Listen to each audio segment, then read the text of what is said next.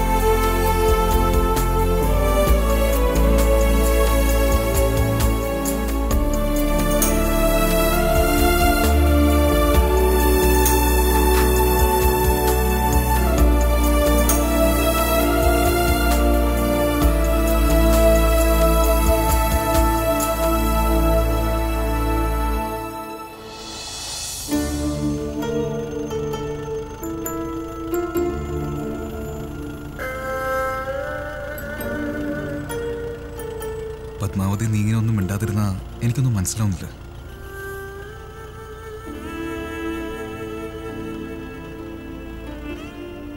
പിന്നെ നമ്മൾ വാങ്ങാൻ പോകുന്ന വീട് നിനക്ക് ഇഷ്ടമായില്ലെന്ന് പറഞ്ഞില്ല. ഈ മഞ്ഞുമലയും പ്രകൃതി ഭംഗിയും ഇതിന് നടുവിൽ നിനക്ക് ഞാനും എനിക്ക് നീ ആ മനോഹരമായ വീട്ടിൽ നമ്മൾ രണ്ടുപേരും ഒരുമിച്ച് താമസിച്ചാൽ എന്ത് രസമായിരിക്കുമല്ലേ? നമ്മൾ സ്നേഹിച്ചു. കല്യാണവും കഴിക്കാൻ പോവാ. വീട്ടിലാരും തടസ്സമൊന്നുമില്ല. അതുകൊണ്ടാ കുറച്ച് കൂടുതൽ സ്വാതന്ത്ര്യം എടുത്തത്. പതു പ്ലീസ് എന്നോട് ഒന്ന് ക്ഷമിക്കേ. ശരി ശരി. നിന്റെ മൂഡ് എങ്ങനെയാ മാറ്റേണ്ടെന്ന് എനിക്ക് നന്നായിട്ട് അറിയാം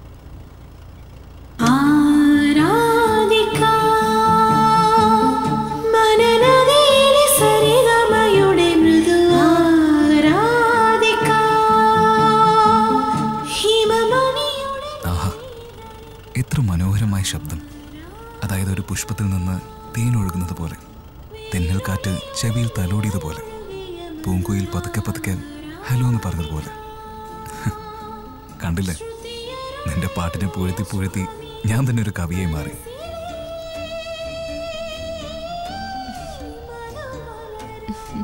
എന്റെ പൊന്നെ നീ ചിരിച്ചല്ലോ? ഉള്ളത് ഉള്ളതുപോലെ തന്നെ പറയണമല്ലോ. അച്ഛന്റെ സംഗീതത്തിലുള്ള നിന്റെ പാട്ട് എത്ര മധുരിക്കുന്ന അനുഭവമാണെന്നറിയോ? ഈ പാട്ട് പാടാൻ വേണ്ടി വന്നപ്പോഴല്ലേ ഞാൻ നിന്നെ ആദ്യമായി സ്നേഹിക്കാൻ തുടങ്ങിയത്. അപ്പൊ ഞാൻ ദൈവത്തോട് പ്രാർത്ഥിച്ചത് എന്താണെന്നറിയോ? ഈ പെണ്ണ് കുറച്ചുകൂടി തടിച്ചിരുന്നെങ്കിൽ ഇതിലും സുന്ദരിയായിരുന്നേനെന്ന്. ഒരു കാര്യം മാത്രം സത്യമാണ് പത്മ. നിന്നെ പോലൊരു പെണ്ണ് എന്നെ പോലൊരാളുടെ ജീവിതത്തിലേക്ക് വരുമ്പോൾ ആ ജീവിതം എത്ര മനോഹരമായിരിക്കും. നീ പാടിയ പാട്ട് പോലെ ഇനിയിപ്പം ഞാൻ മരിച്ചാലും സന്തോഷമായിട്ട് മരിക്കും. ഹേയ്. ഒന്ന് ചിരിക്കടോ?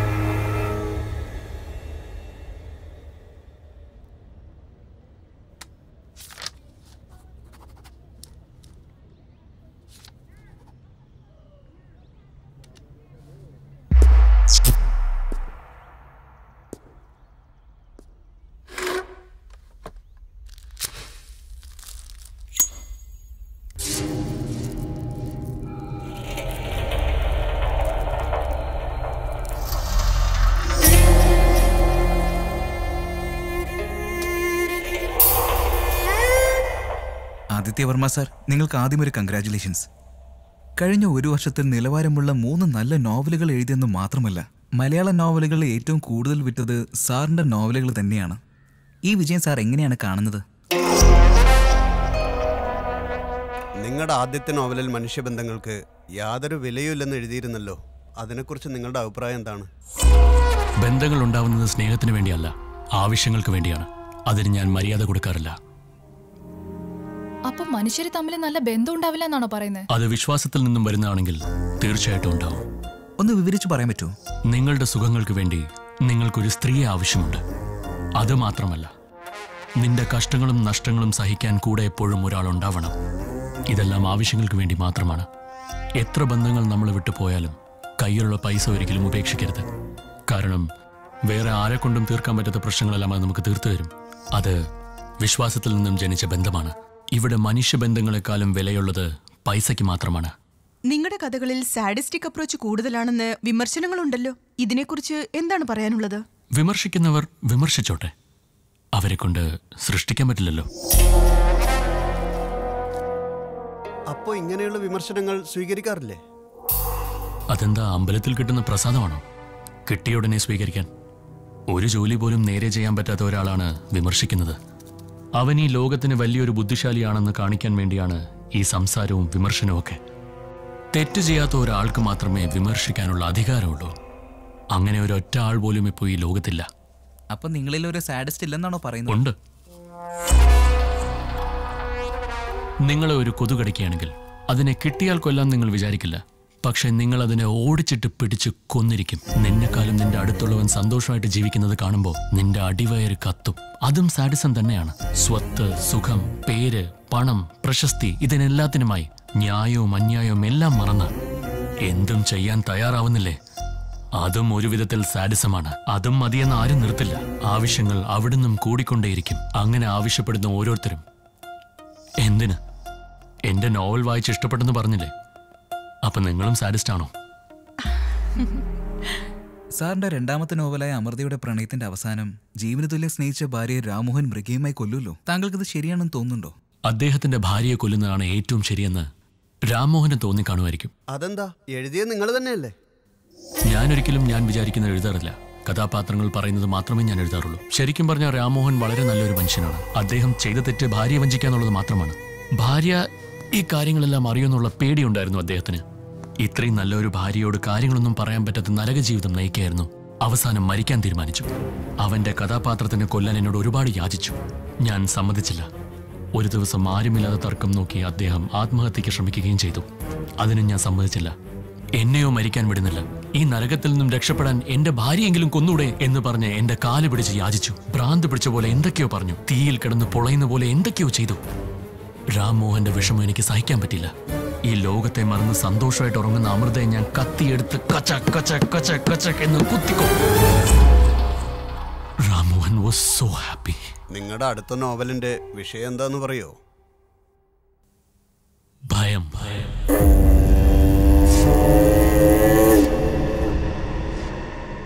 അങ്ങനെയാണെങ്കിൽ അത് യക്ഷിക്കഥയോ മറ്റോ ആണോ? ഭയം എന്ന് പറഞ്ഞാൽ യക്ഷി എന്നാരാ പറഞ്ഞത്?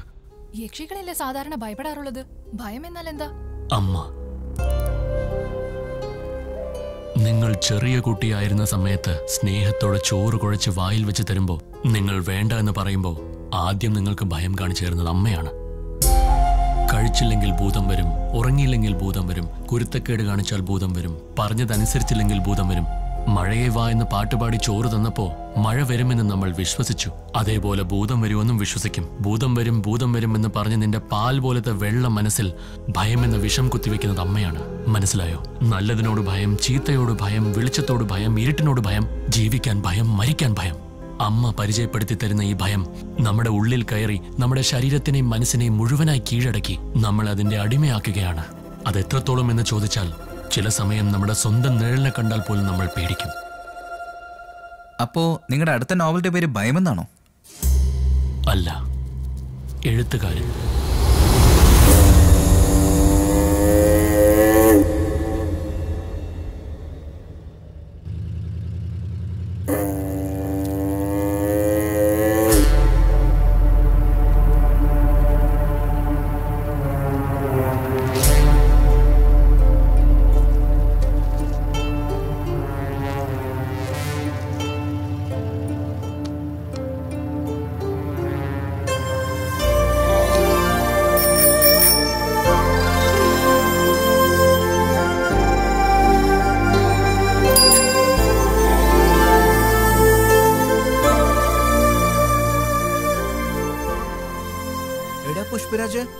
നിൽക്കുന്ന എന്താ കാര്യം?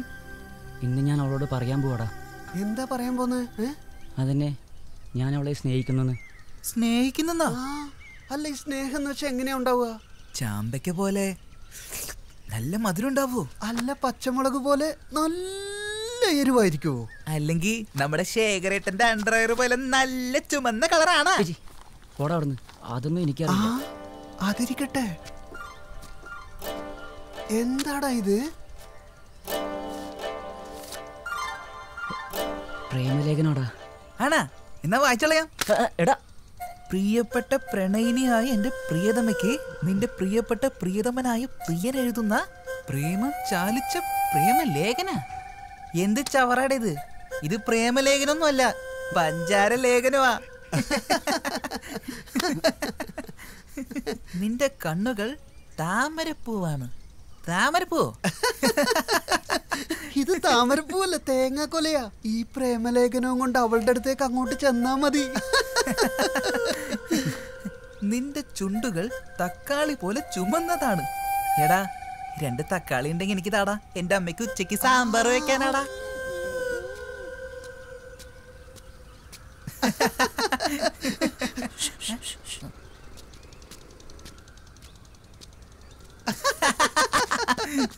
പത്മാവതി.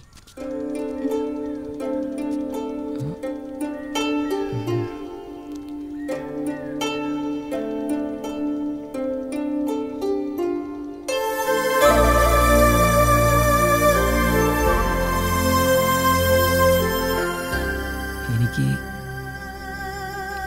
എനിക്ക് നിന്നെ പത്മാവതി നീ വീട്ടിൽ പോ.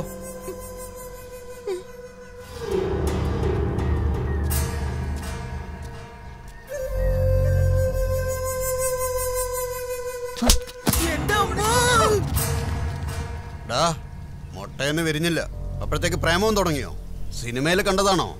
സിനിമ കണ്ട നീയൊക്കെ ചീത്തയായി പോകുന്നത്. ഈ സത്യം മാഷും പ്രേം നസീറും ഒക്കെ മരം ചുറ്റി പ്രേമിക്കുന്നത് കണ്ടല്ലേ നീയൊക്കെ വളരുന്നത്? പിന്നെ എങ്ങനെ നന്നാവാനാ? അതൊന്നും അല്ല ജീവിതം. മര്യാദയ്ക്ക് ജീവിച്ചാൽ നല്ല നിലയിലെത്താം. അല്ലെങ്കിൽ നാട്ടുകാർ കല്ലെറിയും. നീ നന്നായാലും നശിച്ചാലും എനിക്ക് കുഴപ്പമില്ല. പക്ഷെ മേലാൽ എന്റെ മോളുടെ പുറകെ നടക്കരുത്. നടന്നാൽ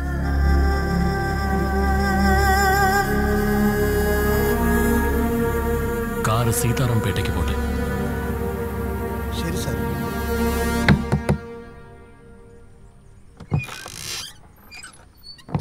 നമസ്കാരമുണ്ട്. നിങ്ങൾ നിങ്ങൾ കഥാകൃത്ത് ആദിത്യവർമ്മയല്ലേ? അതെ. നിങ്ങൾ എന്താ ഇവിടെ? ഇങ്ങനെ ചോദ്യങ്ങൾ മാത്രം ചോദിക്കോ അതോ അകത്തേക്ക് വിളിക്കോ? അയ്യോ എന്താ അങ്ങനെ പറഞ്ഞേ? വരൂ. വന്ന കാര്യം പറഞ്ഞില്ല. ആദിത്യവർമ്മ എന്ന എന്നെ നിങ്ങൾക്കറിയാം. പക്ഷെ നിങ്ങൾ മറ്റൊരാളെയും കൂടെ പരിചയപ്പെടണം. പതിമൂന്ന് കൊല്ലങ്ങൾക്ക് മുമ്പ് നസീറിന്റെയും സത്യന്റെയും പടമൊക്കെ കണ്ട് നശിച്ചുപോയ ഒരു കുട്ടി. പൂവും പ്രേമലേഖനവും കൊണ്ട് നിങ്ങളുടെ മകളുടെ പിന്നാലെ നടന്ന് ഒരു പയ്യൻ. നിങ്ങളുടെ അടി പേടിച്ച് ഈ നാട് വിട്ടോടിയ ഒരു ചെറിയ കുട്ടിയെ. പെൺകുട്ടിയുടെ അച്ഛനല്ലേ? കുടുംബം പ്രാരാബ്ദം. അന്ന് തല്ലിയതിന് എന്നോട് ക്ഷമിക്കണം. എന്തിനാ അങ്ങനെ പറയുന്നത് നിങ്ങൾ ഉദ്ദേശിച്ച അതൊരു ചെറിയ അടിയായിരുന്നു. പക്ഷെ എനിക്ക് ആ ഒരു അടി എന്റെ വിജയത്തിന്റെ ആദ്യത്തെ പടിയായിരുന്നു. നിങ്ങൾ എന്നെ അന്ന് അടിച്ചില്ലായിരുന്നെങ്കിൽ പ്രണയം കാരണം ഞാൻ ജീവനില്ലാതാക്കുമായിരുന്നു എനിക്കിത്രയും സാധിക്കാനും പറ്റില്ല. പതിമൂന്ന് കൊല്ലങ്ങൾക്ക് മുമ്പ് ഒരു ചെറിയ ചെടിയായിരുന്നു എന്റെ പ്രണയം. ഇപ്പൊ വയസ്സായില്ലേ? വലിയൊരു മരമായി വളർന്നു നിൽക്കുക. ആ ഭാരം ഞാൻ ഇപ്പോഴും എന്റെ മനസ്സിൽ ചുമന്നുകൊണ്ടിരിക്കുക. നിങ്ങളുടെ സമ്മതമുണ്ടെങ്കിൽ ഈ പ്രണയം ഞാൻ നിങ്ങളുടെ മകളോട് പങ്കിടാൻ തയ്യാറാണ്.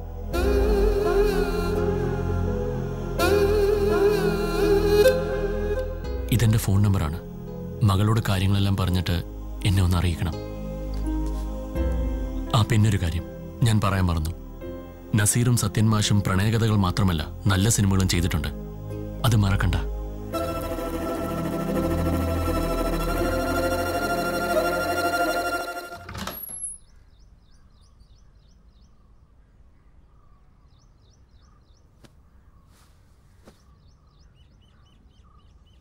അച്ഛൻ പതിമൂന്ന് കൊല്ലങ്ങൾക്ക് മുമ്പ് ഒരു തെറ്റ് ചെയ്തു. നിന്റെ പുറകെ നടന്നതിന് ആദിത്യൻ എന്നൊരു കുട്ടിയെ ഞാൻ തല്ലി ഓടിച്ചു.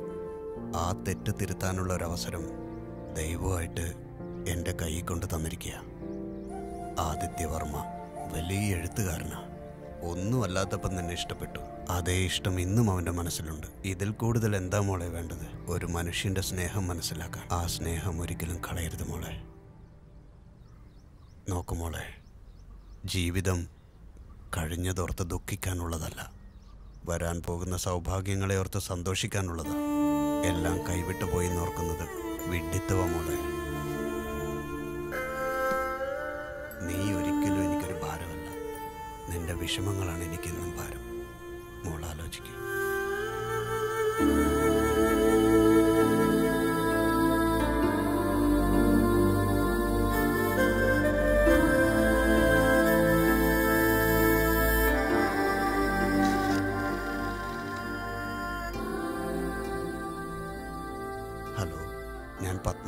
അച്ഛനാ. അത് നിങ്ങൾക്ക് വിരോധമില്ലെങ്കിൽ നിങ്ങളുടെ മകളോട് ഞാൻ സംസാരിച്ചോട്ടെ.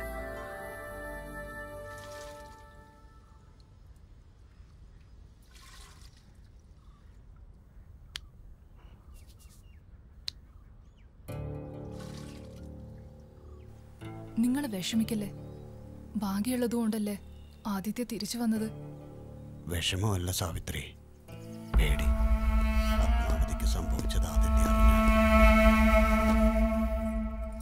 എന്ത് പറ്റി മോളെ?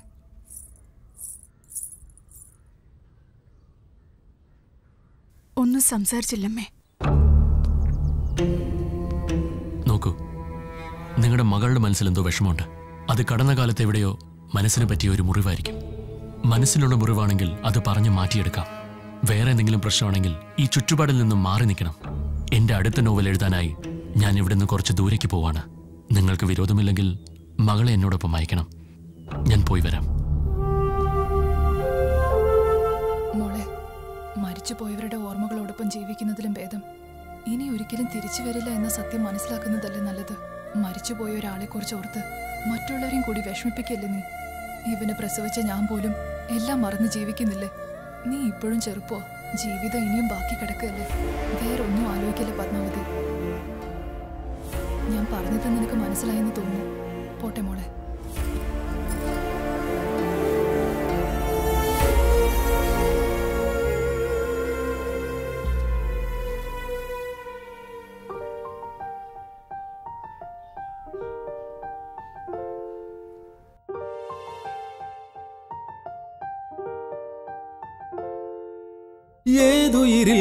തേങ്ങൽ മൂളും ആരറിയുന്നു?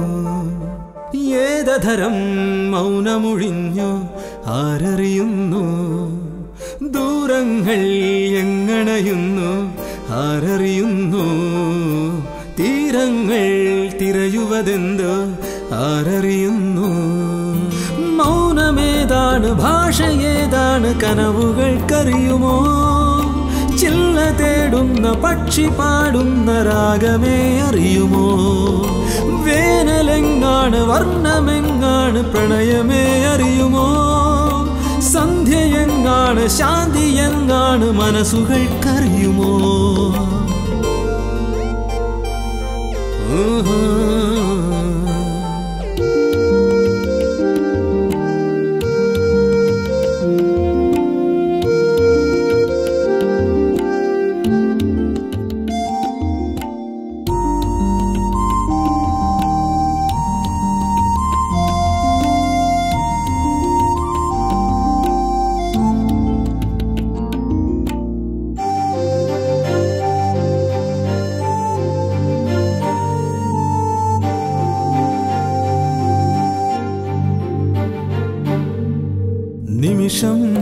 നിമിഷം അകലുന്നെങ്ങു പോയി നിഴലായി സമയം മറയുന്നെങ്ങു പോയി ഉദയാസ്തമയം ഹൃദയം പോലവേ ഉരുകും കടലിൽ ഒടുവിൽ താഴുമോ കണ്ണീർ കണം ഇന്നീ ക്ഷണം വിങ്ങുന്നു വിഫലമായി വിണ്ണിൻ മനം പെയ്യാക്കനം മേഘങ്ങൾ നിൽക്കവേ നോവായി വളരവേ മെയ്യായി തളരവേ.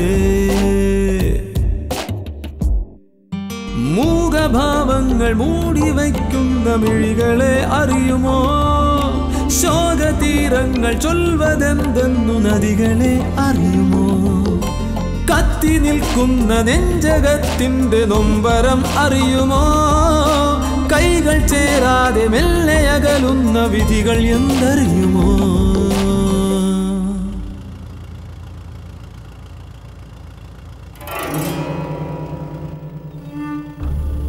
പത്മാവതി ഭയത്തിനെ കുറിച്ച് നിന്റെ അഭിപ്രായം എന്താ?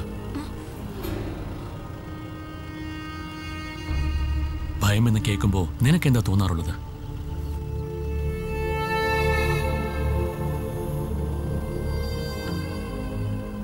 ഭയം ഒരു വലിയ സംഭവമാണ് പത്മാവതി. നമ്മുടെ ഉള്ളിൽ തന്നെ ജനിച്ച് നമ്മളെ തന്നെ പേടിപ്പിക്കും.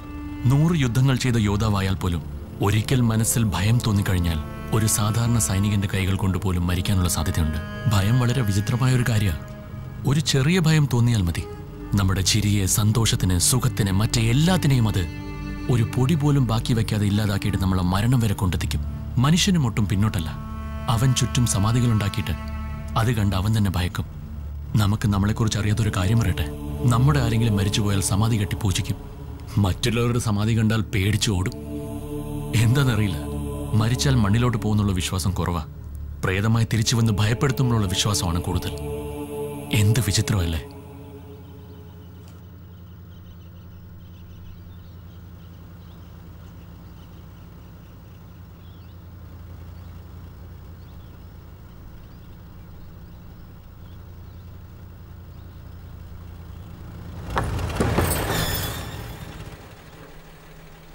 എന്നോട് ക്ഷമിക്കൂ. ആ കല്ല് ഞാൻ കണ്ടില്ല. പത്മാവതി!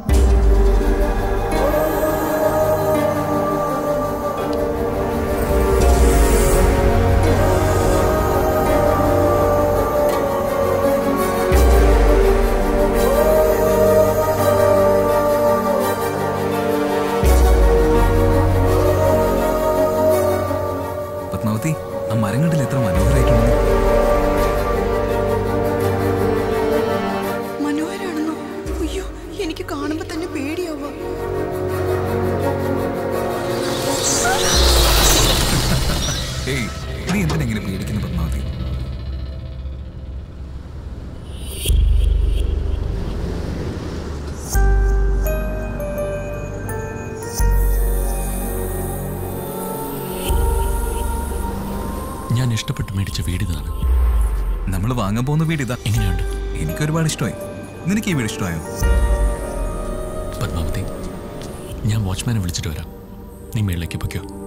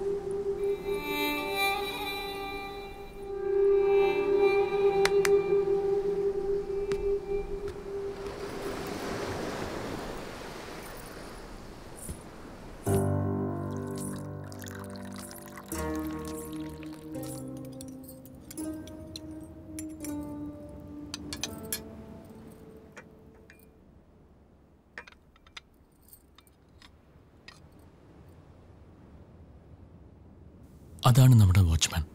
നല്ലൊരു മനുഷ്യനാണ്. ഭാഗ്യവാനും കൂടെയാ. ഒന്നും സംസാരിക്കാനും പറ്റില്ല ഒന്നും കേൾക്കാനും പറ്റില്ല.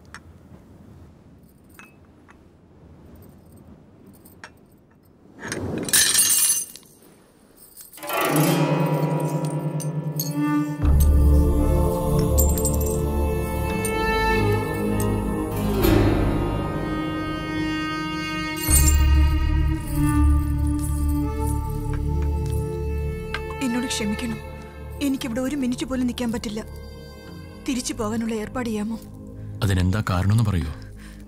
എനിക്ക് ഇവിടുത്തെ ചുറ്റുപാട് ഇഷ്ടപ്പെടുന്നില്ല. കാരണം പറയാൻ പോലും സമയവും സന്ദർഭവും ഒക്കെ വേണം പത്മാവതി. സൗന്ദര്യം കാണാൻ കണ്ണിനും രസിക്കാൻ മനസ്സിനും ആരും പറഞ്ഞു കൊടുക്കാറില്ല. അത് വളരെ സാധാരണമായിട്ട് നടക്കുന്ന ഒരു സംഭവമാണ്. ശരീരം നിന്റേതായതുകൊണ്ട് എന്തും ചെയ്യാമെന്ന് നീ വിചാരിച്ചിട്ടുണ്ടോ? ഒരു പെണ്ണവൾ സുന്ദരിയായിരിക്കണമെന്ന് വിചാരിക്കുന്നത് തെറ്റല്ല. ആ സൗന്ദര്യം പ്രകടിപ്പിക്കുന്നതാണ് തെറ്റ്. കാണിക്കാൻ പാടില്ലാത്ത ഭാഗമാണെന്ന് മനസ്സിലാക്കിയാൽ അത് പുറത്ത് കാണാതിരിക്കുന്നത് നിന്റെ ഉത്തരവാദിത്തമാണ്. കുറ്റപ്പെടുത്തുന്നത് വളരെ മോശമാണ്. കുറ്റപ്പെടുത്താതെ പതുക്കെ ഇരുന്ന് ആലോചിച്ച് നോക്ക്. ശരിയായ ഒരു കാരണം കണ്ടെത്തിയാൽ നിനക്ക് ഉടനെ തന്നെ ഇവിടുന്ന് പോകാം. പത്മാവതി നീ ഞങ്ങളുടെ മോളായത് കൊണ്ടായിരിക്കാം നിന്റെ സന്തോഷമാണ് ഞങ്ങൾ കൊതിക്കുന്നത്. നിനക്ക് വേണ്ടിയിട്ടല്ലെങ്കിലും ഞങ്ങൾക്ക് വേണ്ടിയെങ്കിലും ആദിത്യം നിനക്ക് കല്യാണം കഴിച്ചൂടെ? ആലോചിച്ച് നോക്കുമോടെ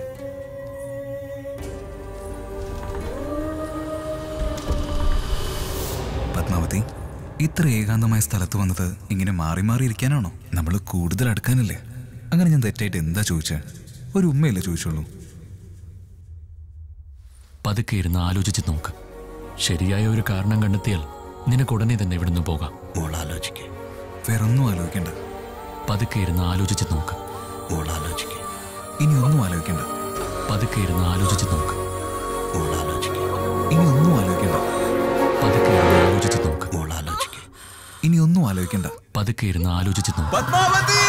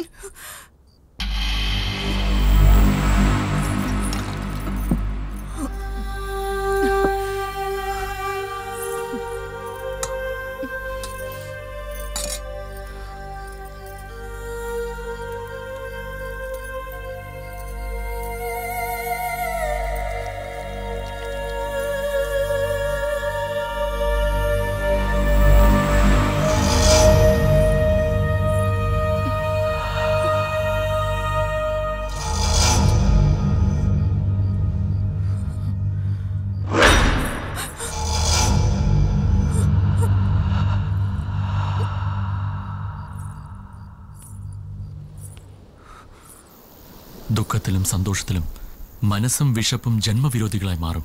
മനസ്സിന് വിശപ്പുണ്ടാവില്ല. വിശപ്പിന് മനസ്സുണ്ടാവില്ല. രണ്ടും അതിന്റെതായ ജോലികൾ ചെയ്തുകൊണ്ടിരിക്കും.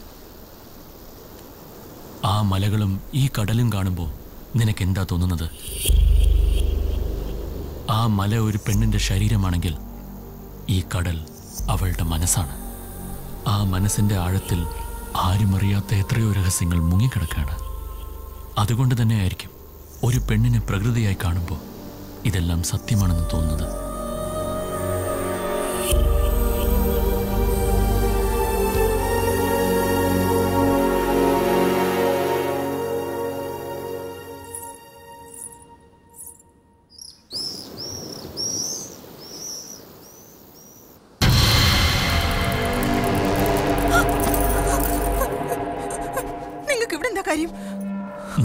സുരക്ഷിതമായി എത്തിയെന്ന് നിന്റെ അച്ഛനെ വിളിച്ച് ഞാൻ പറഞ്ഞിരുന്നു. അദ്ദേഹത്തിന് നിന്നോട് സംസാരിക്കണമെന്ന് പറഞ്ഞു. എന്താ വരുന്നു?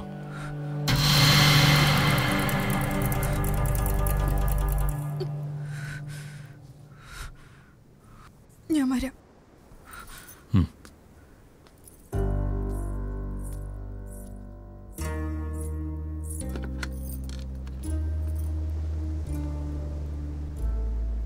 പറയൂ അച്ഛാ. ഞാൻ സുഖമായിരിക്കുന്നു. നീ സുഖമായിരിക്കുന്നു ഇല്ലയോ നിന്റെ ശബ്ദം കേട്ടാൽ മനസ്സിലാവും മോളെ. മറക്കാൻ മാത്രം ചെറിയ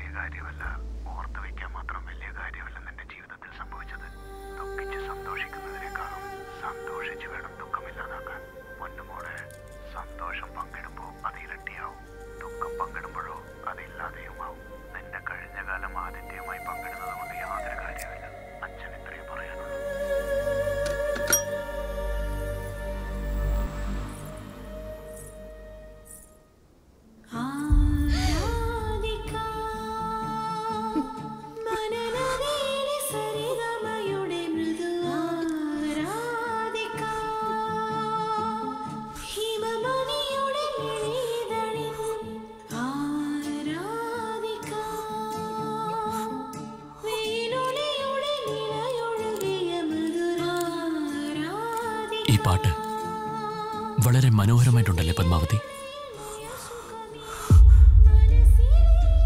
എത്ര ഭംഗിയിട്ടാ പാടിയ പത്തു. ഈ ശബ്ദവും ആകർഷണീയമാണ്. നിന്റെ ശബ്ദം കേൾക്കുന്ന ആരും ആ നിമിഷം ഒരു ശില്പം പോലെ നിന്നു പോവും. ഈ ശബ്ദം എവിടെയോ കേട്ട പോലുണ്ടല്ലേ പത്മാവതി?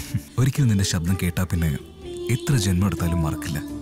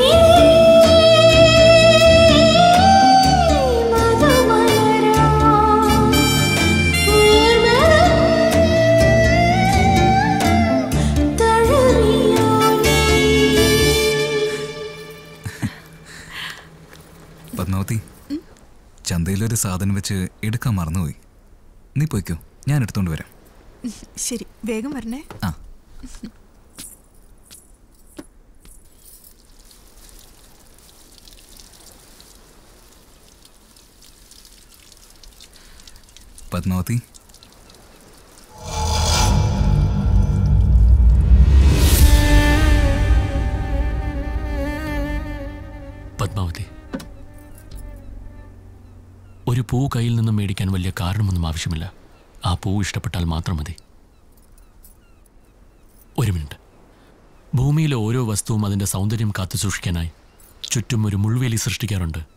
അത് ഈ പൂവിലുമുണ്ട്. സൂക്ഷിച്ചു പിടിക്കണം. ഞാൻ അറിഞ്ഞില്ല ഈ പൂ നിനക്ക് തരാൻ പതിമൂന്ന് വർഷങ്ങൾ കാത്തിരിക്കേണ്ടി വരുമെന്ന്. പക്ഷേ ഈ പതിമൂന്ന് കൊല്ലങ്ങളായി എന്റെ ഹൃദയം നിന്റെ കയ്യിലായിരുന്നു. പ്രണയിക്കുന്നവർ സ്നേഹം എപ്പോഴും അങ്ങോട്ടും ഇങ്ങോട്ടും വാരിക്കൊടുത്തുകൊണ്ടിരിക്കും പക്ഷേ എത്ര കിട്ടിയാലും അവർക്കത് മതിയാവില്ല. അതുകൊണ്ട് പ്രേമം ഒരു വിസ്മയമായി തോന്നുന്നത്. ഞാൻ എന്റെ പ്രണയത്തിന് വേണ്ടി എന്തും ചെയ്യാൻ തയ്യാറാണ്. പത്മാവതി പറയാൻ ഉദ്ദേശിച്ച കാര്യം ഞാൻ മറന്നുപോയി. പച്ചക്കറികൾ വാങ്ങാൻ ഞാൻ ചന്തയിലേക്ക് പോവാണ്. ഒറ്റയ്ക്ക് വീട്ടിലിരുന്ന് മുഷിയുന്നു എന്ന് തോന്നുന്നെങ്കിൽ നിനക്ക് എന്റെ കൂടെ വരാം.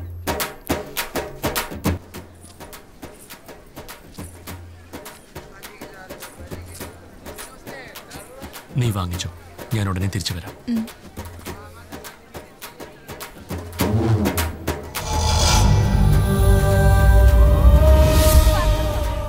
എന്താ മോളെ സുഖം എന്താ പറഞ്ഞ?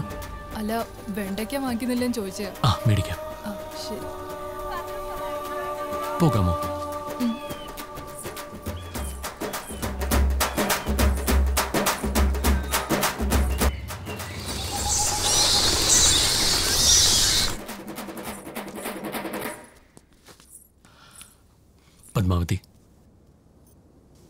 ഭക്ഷണം ഉണ്ടാക്കാൻ അറിയോ?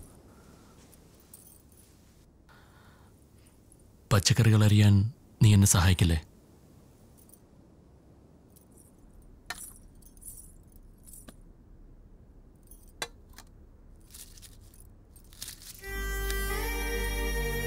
പുഞ്ചിരി തൂകുന്ന എന്റെ പ്രിയയുടെ ചുണ്ടുകൾക്ക് ഈ റോസാപ്പൂ സമ്മാനമായി നൽകാം. വാങ്ങിച്ചോ? റോസപ്പൂവോ? ഏയ് സൂക്ഷിച്ചു പിടിക്കണം. ഇതിലും മുള്ളുണ്ട് പത്മാവതി കഴിഞ്ഞോ? കഴിഞ്ഞു. വാ നമുക്ക് കഴിക്കാം. കറി വെക്കണ്ടേ? നീ വൈകിയത് കൊണ്ടാണോ ഞാൻ വേഗം ഉണ്ടാക്കിയതുകൊണ്ടാണോ? ഭക്ഷണം തയ്യാറായി. നമുക്ക് കഴിക്കാം വാ. ഈ ചെറിയ ഉള്ളി തൈരിന്റെ കൂടെ കഴിക്കാം.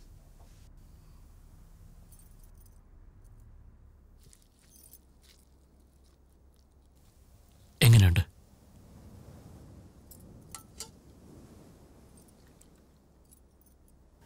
രുചിയുള്ള ഭക്ഷണം കഴിക്കുമ്പോഴാണ് വയറ് നിറയുന്നത്. ഇഷ്ടമുള്ളവർ കൂടെ ഉള്ളപ്പോഴാണ് ജീവിതത്തിൽ ഒരു സന്തോഷം തോന്നുന്നത്. ഞാൻ ആരെ ഇഷ്ടപ്പെടുന്നത് നിനക്കറിയാം. പക്ഷേ അവരുടെ മനസ്സിൽ എന്താണെന്ന് എനിക്കറിയില്ല. നിങ്ങൾ കഥ എഴുതാൻ വന്നിരിക്കുകയെന്ന് അച്ഛൻ പറഞ്ഞു. എഴുതണം. കഥ ഭാവനയിൽ നിന്നും ഉണ്ടാവണം അല്ലെങ്കിൽ അനുഭവത്തിൽ നിന്നുണ്ടാവണം. പക്ഷേ ഇപ്പോൾ അത് രണ്ടും എന്നോട് സഹകരിക്കുന്നില്ല. എന്റെ ഇപ്പോഴത്തെ ചുറ്റുപാട് അങ്ങനെയാണ്.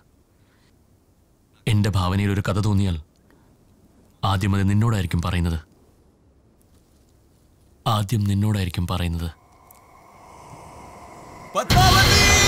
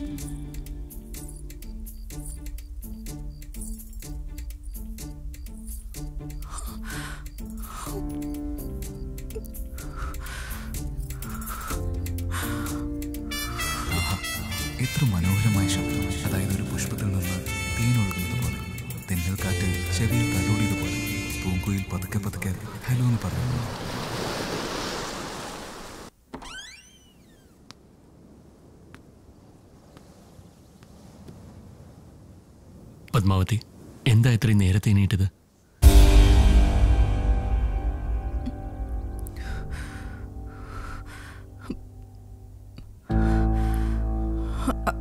അത് പാട്ട്. ഓ പാട്ട് കേൾക്കാൻ തോന്നിയോ? എത്ര ഇഷ്ടമുണ്ടെങ്കിലും ഇത്രയും നേരത്തെ എഴുന്നേറ്റിരുന്ന് കേൾക്കണോ?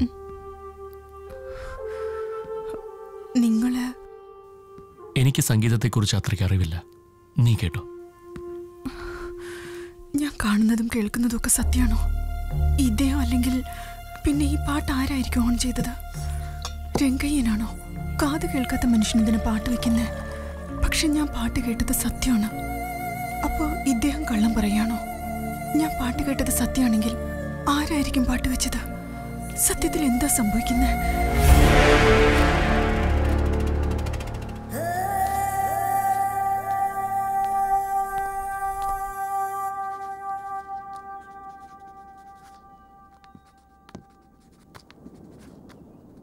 എക്സ്ക്യൂസ് മീ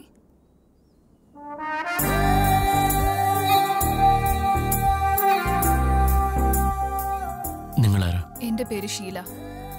സത്യാന്വേഷണത്തിന്റെ മാസികയുടെ ജേർണലിസ്റ്റ് നിങ്ങൾ വന്നതിന്റെ ഉദ്ദേശം? എഴുത്തുകാരനോട് മര്യാദയെക്കുറിച്ച് പ്രത്യേകിച്ച് പറഞ്ഞു തരേണ്ട ആവശ്യമില്ലെന്ന് തോന്നുന്നു. അകത്തേക്ക് വരൂ. നൈസ് ഹൗസ് പറയാൻ വിട്ടുപോയി. ഞങ്ങൾ ബുക്കും പബ്ലിഷ് ചെയ്യാറുണ്ട്. നിങ്ങൾ എഴുതിയ എല്ലാ ബുക്കും പബ്ലിഷ് ചെയ്യുന്നത് ഞങ്ങളാണ്. എന്റെ അടുത്ത നോവൽ തീർക്കാൻ കുറച്ചും കൂടെ സമയമെടുക്കും. നോനോ ഞാൻ അതിനു വേണ്ടിയല്ല വന്നത്. നിങ്ങളുടെ ഇന്റർവ്യൂവിനൊന്നും എനിക്ക് വരാൻ പറ്റിയില്ല. ഇപ്പൊ സഹകരിക്കുകയാണെങ്കിൽ നമുക്കൊന്ന് എന്നാ ശരി ഇരിക്കും.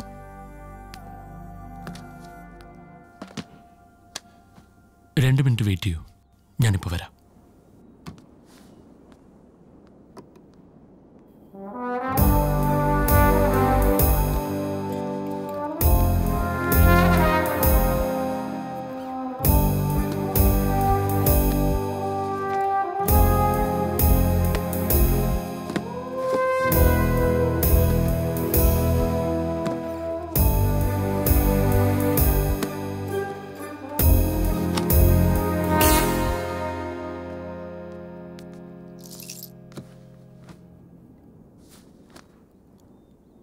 ഒരുപാട് പുസ്തകങ്ങൾ അടുക്കി വെച്ചിട്ടുണ്ടല്ലോ. അതെന്തിനാ? ഒരുപാട് പുസ്തകങ്ങൾ വായിക്കാതെ ഈ ലോകത്തൊരു പുസ്തകം എഴുതാൻ പറ്റില്ലെന്നാണ് എല്ലാ മനുഷ്യരും ധരിച്ചുകൊണ്ടിരിക്കുന്നത്. അങ്ങനത്തെ ആൾക്കാർക്ക് അതൊരു അന്ധവിശ്വാസം മാത്രമാണെന്ന് കാണിച്ചു കൊടുക്കാൻ വേണ്ടിയാണ്. അത്. അത് കലക്കി. അപ്പോ നിങ്ങൾ ഒരു ബുക്ക് പോലും വായിച്ചിട്ടില്ല? ജീവിതം വായിച്ച് മനസ്സിലാക്കി. അത് മതി. ഇനിയും ഒരുപാട് പുസ്തകങ്ങൾ എഴുതിക്കൂട്ടാൻ. നിങ്ങൾ എങ്ങനെ ഇത്ര വലിയൊരു എഴുത്തുകാരനായെന്ന് എനിക്കിപ്പോഴാണ് മനസ്സിലായേ. ആ ഇന്റർവ്യൂ തുടങ്ങിയാലോ? നിങ്ങളുടെ ഫുൾ നെയിം ആദിത്യവർമ്മ അച്ഛനമ്മയും കുറിച്ച് പറയാമോ? അച്ഛനൊരു കർഷകനായിരുന്നു. അമ്മ അച്ഛനെ കൃഷിയിൽ സഹായിക്കുമായിരുന്നു. ഇപ്പൊ രണ്ടുപേരുമില്ല നിങ്ങൾ ജനിച്ച സ്ഥലം? ഇത് തന്നെ. ഇത്രയും നാൾ എവിടെ പോയിരുന്നു? പഠിക്കാൻ പോയിരുന്നു. എന്താ പഠിച്ചത്? പറഞ്ഞില്ലേ? ജീവിതം.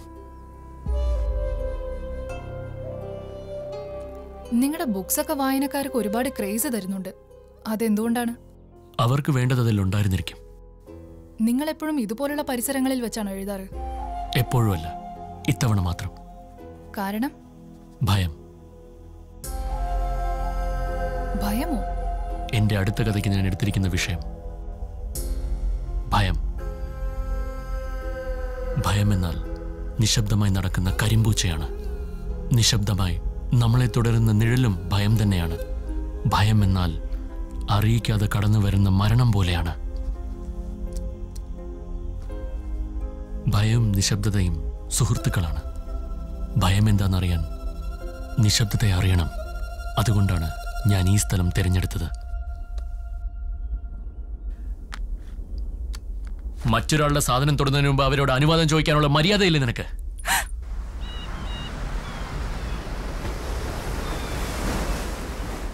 അതെന്റേതാ? എന്റേത് മാത്രമാണ്. ക്ഷമിക്കണം. ഇത് നിങ്ങൾക്ക് ഇത്ര പ്രധാനപ്പെട്ടതാണെന്ന് ഞാൻ അറിഞ്ഞില്ല. സോറി. ഇറ്റ്സ് ഓക്കെ പത്മാവതി ഇത് ഷീല. ഷീല ഇത് പത്മാവതി. ഹലോ കുടിക്കാൻ എന്താ വേണ്ടേ? Coffee tea? Coffee is fine ശരി.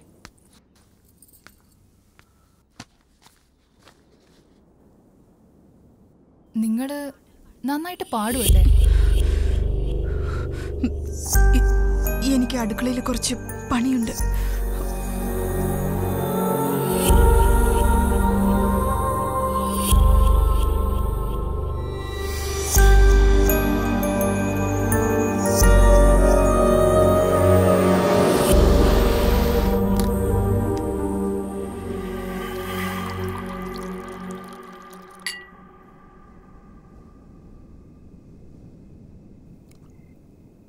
തെറ്റിദ്ധരിക്കില്ലെങ്കിൽ പത്മാവതിയെക്കുറിച്ചൊന്ന് പറയാൻ പറ്റുമോ?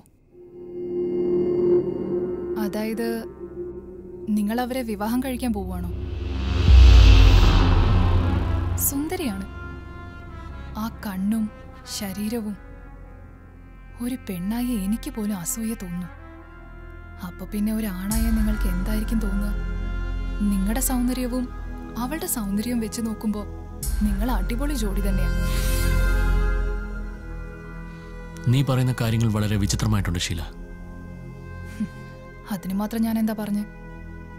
നമ്മുടെ കൺമുമ്പിൽ നിൽക്കുന്ന ഒരു നിധിയെ സ്വന്തമാക്കണമെന്ന് ആരാ ആഗ്രഹിക്കാത്തത്? എന്തേ? നിങ്ങൾക്കില്ലേ? മദ്യം കഴിച്ചുകൊണ്ടിരിക്കുമ്പോൾ സ്ത്രീകളെക്കുറിച്ച് സംസാരിച്ചാൽ മനസ്സ് വെറുതെ ഇരിക്കില്ല. ഭ്രാന്ത് പിടിച്ച പോലെയാവും. നേരായ വഴിയിൽ ചിന്തിക്കില്ല. എന്തും ചെയ്യാന്നുള്ള ഒരു ധൈര്യം വരും. ഒരു സ്ത്രീയുടെ ആഗ്രഹം അഗ്നിപർവതം പോലെയാണ്. എത്ര നിയന്ത്രിക്കുന്നു അത്രയും നല്ലത്. Good night.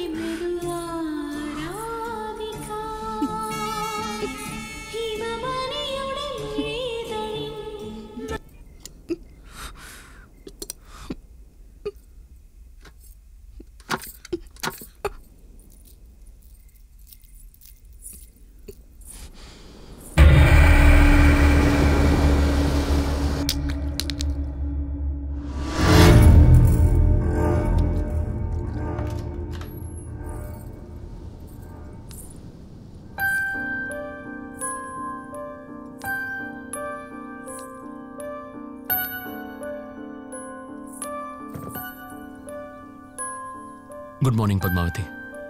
ഇരിക്കെ. ശീല? ഷീല അവൾ കാറ്റ് പോലെയാണ്. എപ്പോഴും ഒരു സ്ഥലത്തുണ്ടാവില്ല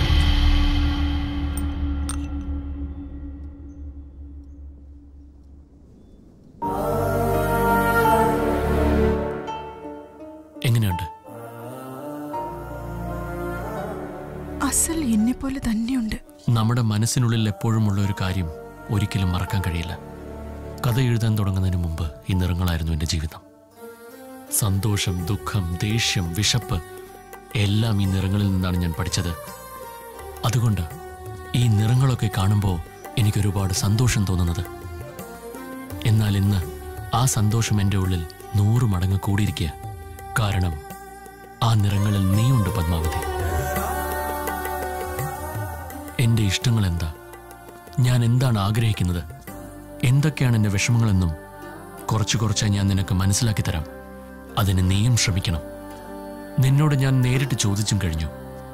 പക്ഷേ നിന്റെ ഈ നിശബ്ദത എനിക്ക് ഒരു ഉത്തരവും തരുന്നില്ല. നിങ്ങളുടെ കഥ പൂർത്തിയാകുന്നതുവരെ എനിക്ക് കുറച്ച് സമയം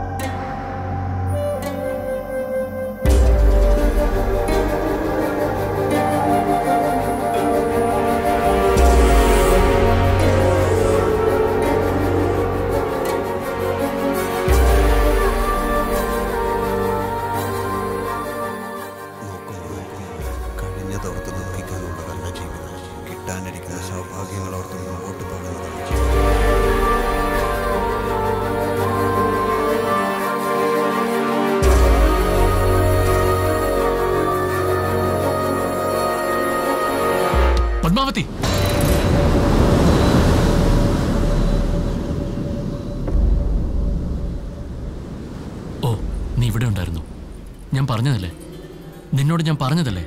എനിക്കൊരു കഥ കിട്ടിക്കഴിഞ്ഞാൽ ആദ്യം നിന്നോട് ഞാൻ പറയുമെന്ന്. ഇതാ. കേട്ടോ. ഒരാണും പെണ്ണും ആർക്കും അകറ്റാൻ പറ്റാത്ത രീതിയിൽ അടുത്തുപോയി. രണ്ടുപേരുടെ വീട്ടിലുള്ളവരും അത് അംഗീകരിക്കുകയും ചെയ്തു. നിശ്ചയം നടത്തി. നല്ലൊരു സ്ഥലം നോക്കി ഒരു വീട് മേടിക്കണമെന്നും കല്യാണം കഴിഞ്ഞാൽ അവിടെ താമസിക്കണമെന്നും ആഗ്രഹിച്ചു. ആ വീട് കാണാൻ പോയ അവർ സന്തോഷമായിട്ട് അവിടെ രണ്ടു ദിവസം താമസിക്കുകയും ചെയ്തു. അവരുടെ സന്തോഷം കണ്ട് പ്രകൃതിക്ക് അസൂയ തോന്നി. തിരിച്ചു വരുമ്പോൾ ഒരു അപകടം ഉണ്ടാവുന്നു. ആ അപകടത്തിൽ അവളുടെ സ്നേഹിതൻ മരിക്കുന്നു. അത് കാരണം അവളെ ആരും അടുപ്പിക്കാതെ ആയി. കുറച്ച് ദിവസങ്ങൾ കഴിഞ്ഞ് ആ പെൺകുട്ടിയെ കല്യാണം കഴിക്കാനായി വേറെ ഒരാൾ വരുന്നു. ഒരു ഭാഗത്ത് അവളുടെ അച്ഛന്റെയും അമ്മയുടെയും സന്തോഷം മറ്റൊരു ഭാഗത്ത് നഷ്ടപ്പെട്ട സ്നേഹിതന്റെ വിഷമം. വേറൊരു ഭാഗത്ത് പുതിയതായി കല്യാണം കഴിക്കാൻ വന്ന ഇയാൾ. എന്ത് ചെയ്യണമെന്ന് അവൾക്കറിയില്ല. അവൾക്ക് അവളോട് തന്നെ സഹതാപവും ദേഷ്യവും ഒരുമിച്ച് തോന്നാൻ തുടങ്ങി.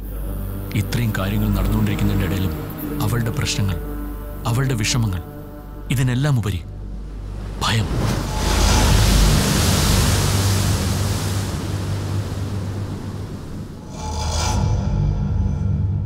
ആ ഭയമാണ് എന്റെ കഥയുടെ വിഷയം.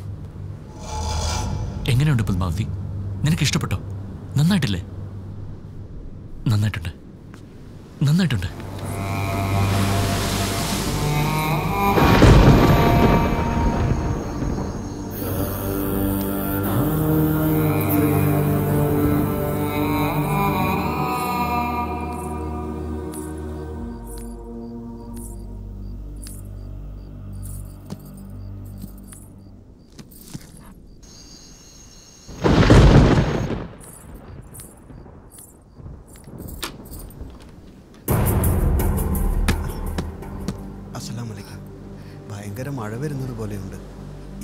സമയത്ത് ഈ മലയടിവാരത്തിലൂടെ യാത്ര ചെയ്യുന്നത് അത്ര ശരിയല്ലെന്ന് തോന്നി. അതുമല്ല ഇവിടെ ഗർഭിണിയോ? ഇന്നൊരു രാത്രി മാത്രം ഞങ്ങളിവിടെ താമസിക്കാൻ അനുവദിക്കുമോ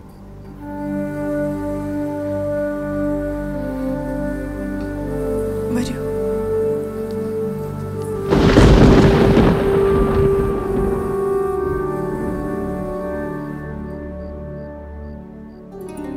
കഥാകൃത്ത് ആദിത്യവർമ്മയല്ലേ അത്? വീട് അദ്ദേഹത്തിന്റെ ആണോ അദ്ദേഹത്തിന്റെ കഥകൾ എനിക്ക് ഭയങ്കര ഇഷ്ടമാ നിങ്ങൾ അദ്ദേഹത്തിന്റെ ഭാര്യയാണോ? ഓ കല്യാണം കഴിച്ചിട്ടില്ലേ? നിങ്ങൾ ആ മുറിയിൽ വിശ്രമിച്ചോളൂ.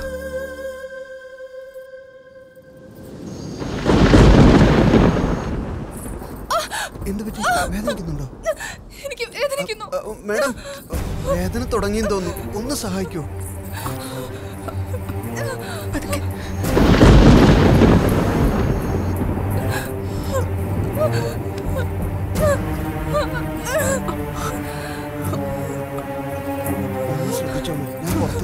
ശരി.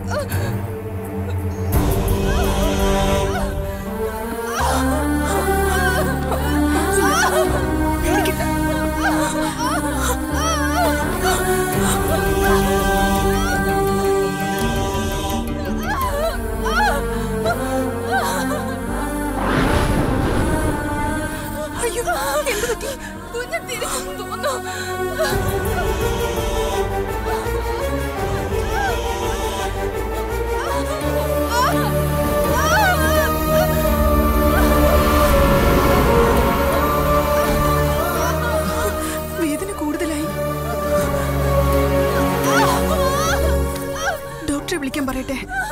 ഇവൾ ഒരു ഡോക്ടറാ. ഇവൾ പറയുന്ന പോലെ ചെയ്താൽ മതി. ഈ സമയത്ത് ഡോക്ടർ എവിടെ പോയി അന്വേഷിക്കാനോ? പേടിക്കല്ലേ? ഞാനില്ലേ കൂടെ ഒന്നും സംഭവിക്കില്ല. നടക്കും? നോക്കിയേ. പോകുന്ന നമ്മുടെ കുഞ്ഞിനെ ഓർത്താൽ മതി. എന്റെ വേദന കുറയും.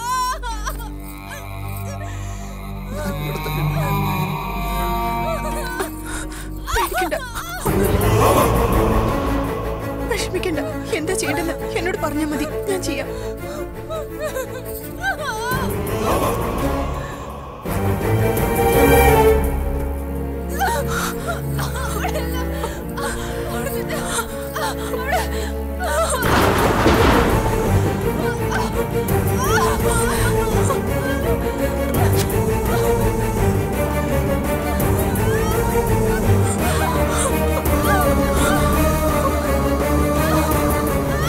ആരാ നീ? ഇവിടേക്ക് എങ്ങനെ കയറിയത് സാർ എന്റെ പേര് അബ്ദുള്ള. അകത്തന്റെ ഭാര്യ പ്രസവ വേദനയിൽ പടഞ്ഞോണ്ടിരിക്കുക ഇവിടെ എന്താ നടക്കുന്നത്? അവർക്ക് വേദന. എന്റെ അനുമതി ഇല്ലാതെ ഈ വീട്ടിനകത്ത് ആരും കേറ്റാൻ പാടില്ല നിനക്ക് അറിയില്ലേ അവർക്ക് പ്രസവ വേദന അങ്ങോട്ട് മാറി നിൽക്കേ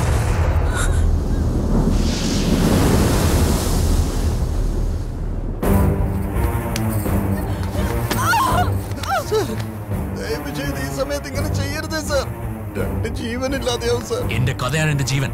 അതിന്റെ ഇടയ്ക്ക് ആര് വന്നാലും ഞാൻ അവരെ ജീവനോട് വിടില്ല.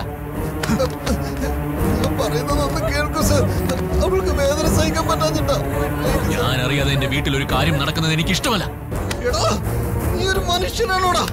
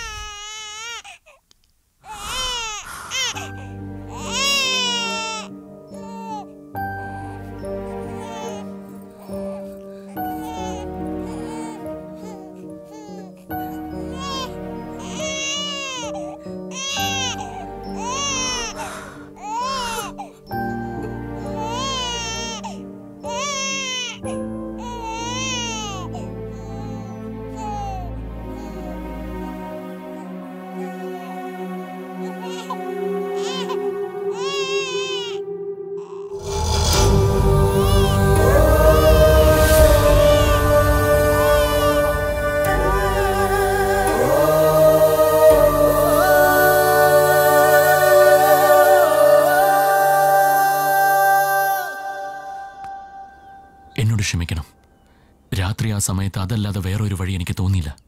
പെട്ടെന്നൊരു ഭയം വരുമ്പോൾ എത്ര വലിയ ഭാരം ചുമന്നുകൊണ്ടിരിക്കുകയാണെങ്കിലും നമ്മൾ അത് ഇറക്കി വെക്കും. രണ്ട് ജീവനെ രക്ഷിക്കാൻ ഞാൻ എടുത്ത ഒരു ശ്രമമാണിത്.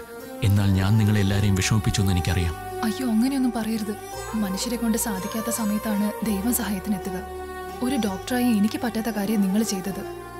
ഞങ്ങളുടെ ദൈവം നിങ്ങളാ. നിങ്ങളില്ലായിരുന്നെങ്കിൽ ഈ രണ്ട് ജീവൻ ഇന്നിവിടെ ഉണ്ടാവില്ലായിരുന്നു. ഒരുപാട് നന്ദിയുണ്ട്. എന്നാൽ ഞങ്ങൾ ഇറങ്ങട്ടെ.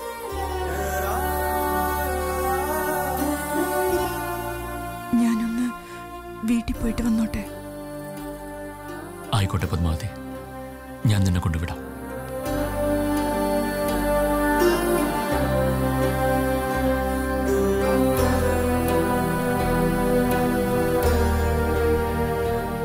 പോയിട്ട് വരാമെന്ന് നീ പറഞ്ഞില്ലേ?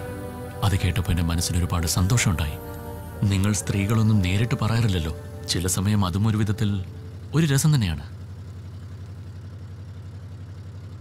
പത്മാവതി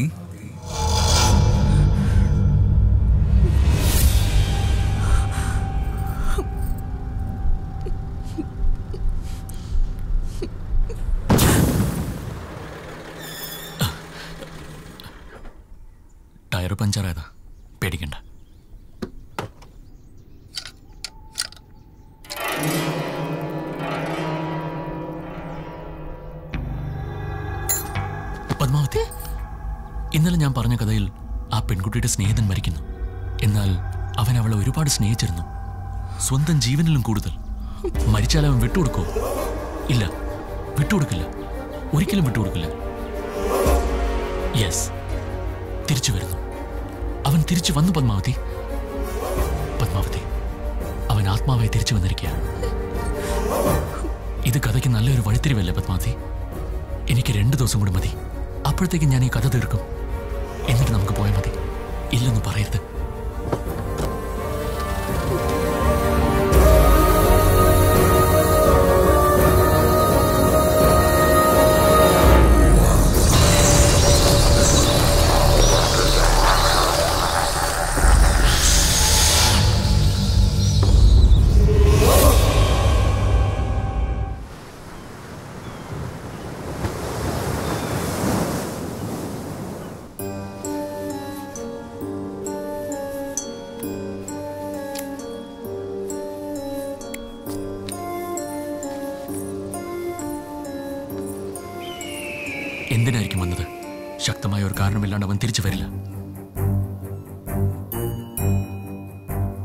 മരിച്ചാലും മറക്കാൻ പറ്റാത്ത സ്നേഹമുള്ള കാരണം കൊണ്ടാണോ?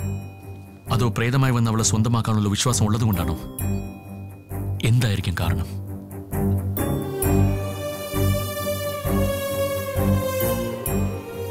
അവന്റെ ആഗ്രഹങ്ങൾക്ക് അവനെ തിരിച്ചു കൊണ്ടുവരാൻ അത്രയ്ക്ക് ശക്തിയുണ്ടോ? എന്നാൽ അങ്ങനെ ഉണ്ടെങ്കിൽ ആ ആഗ്രഹങ്ങൾ പൂർത്തിയാവും. ശരിക്കും അവൻ എന്താ വേണ്ടത്?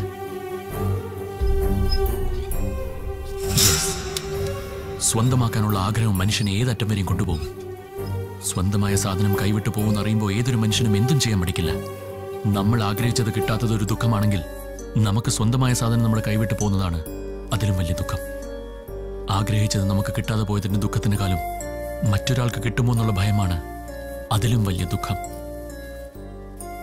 അത് തന്നെയാണ്. അതാണ് അവന്റെ വരവിന്റെ കാരണം. പെണ്ണിനെ കല്യാണം കഴിച്ച് അവൾക്ക് ഒരു ജീവിതം കൊടുക്കാന്ന് പറഞ്ഞ ഒരാൾ വന്നില്ലേ? അവനെ കൊല്ലാനാ വന്നത്. എന്താ കൊല്ലില്ലേ? പറയൂ പത്മാവതി. കൊല്ലില്ലേ അവൻ? എന്താ കൊല്ലില്ലേ? കൊല്ലില്ലേ അവൻ? കൊന്നുകളയും. കൊല്ലില്ലേ അവൻ? അവൻ കൊല്ലില്ലേ? കൊന്നുകളയും. പറയ്. കൊന്നുകളയും. കൊന്നുകളയും.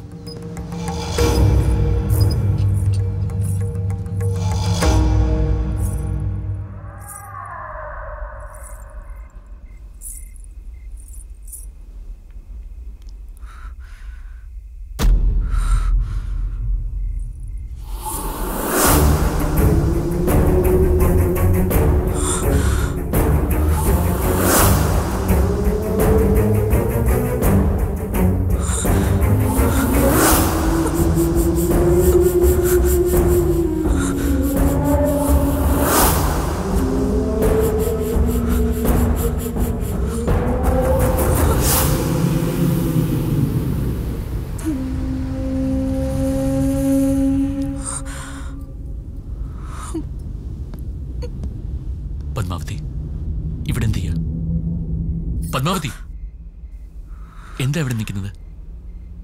അവിടെ എന്താ നോക്കുന്നത്?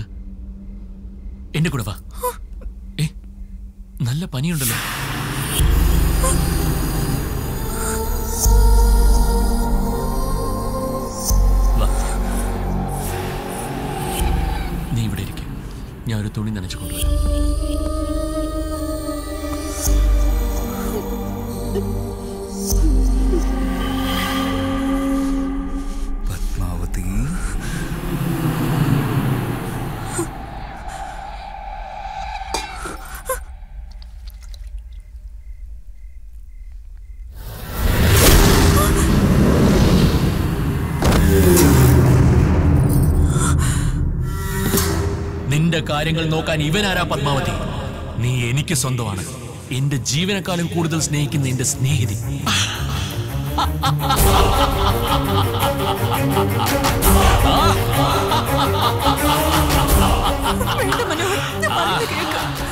എന്റെ സ്നേഹിതി എന്നെക്കാളും കൂടുതൽ സ്നേഹിക്കുന്നു എന്നിൽ നിന്നും അവൾ അകറ്റാൻ ശ്രമിക്കുക ഇവനെ ഇങ്ങനെയല്ല.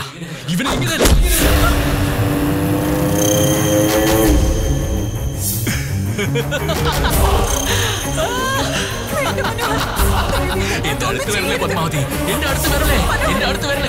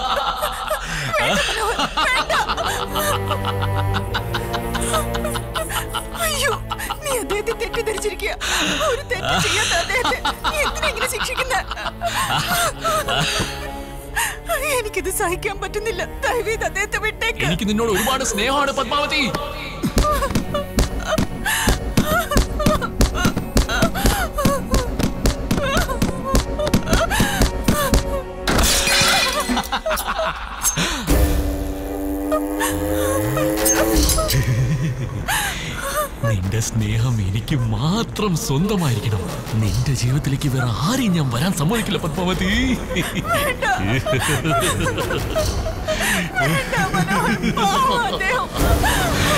ഇവനെ ഞാൻ ജീവനോട് വിടില്ല! വേണ്ട പത്മാവതി. ഇവൻ നമ്മുടെ രണ്ടുപേരുടെ ഇടയ്ക്ക് വേണ്ട ഇവനെ ഞാൻ കൊന്നേക്കാം. കൊന്നേക്കാം.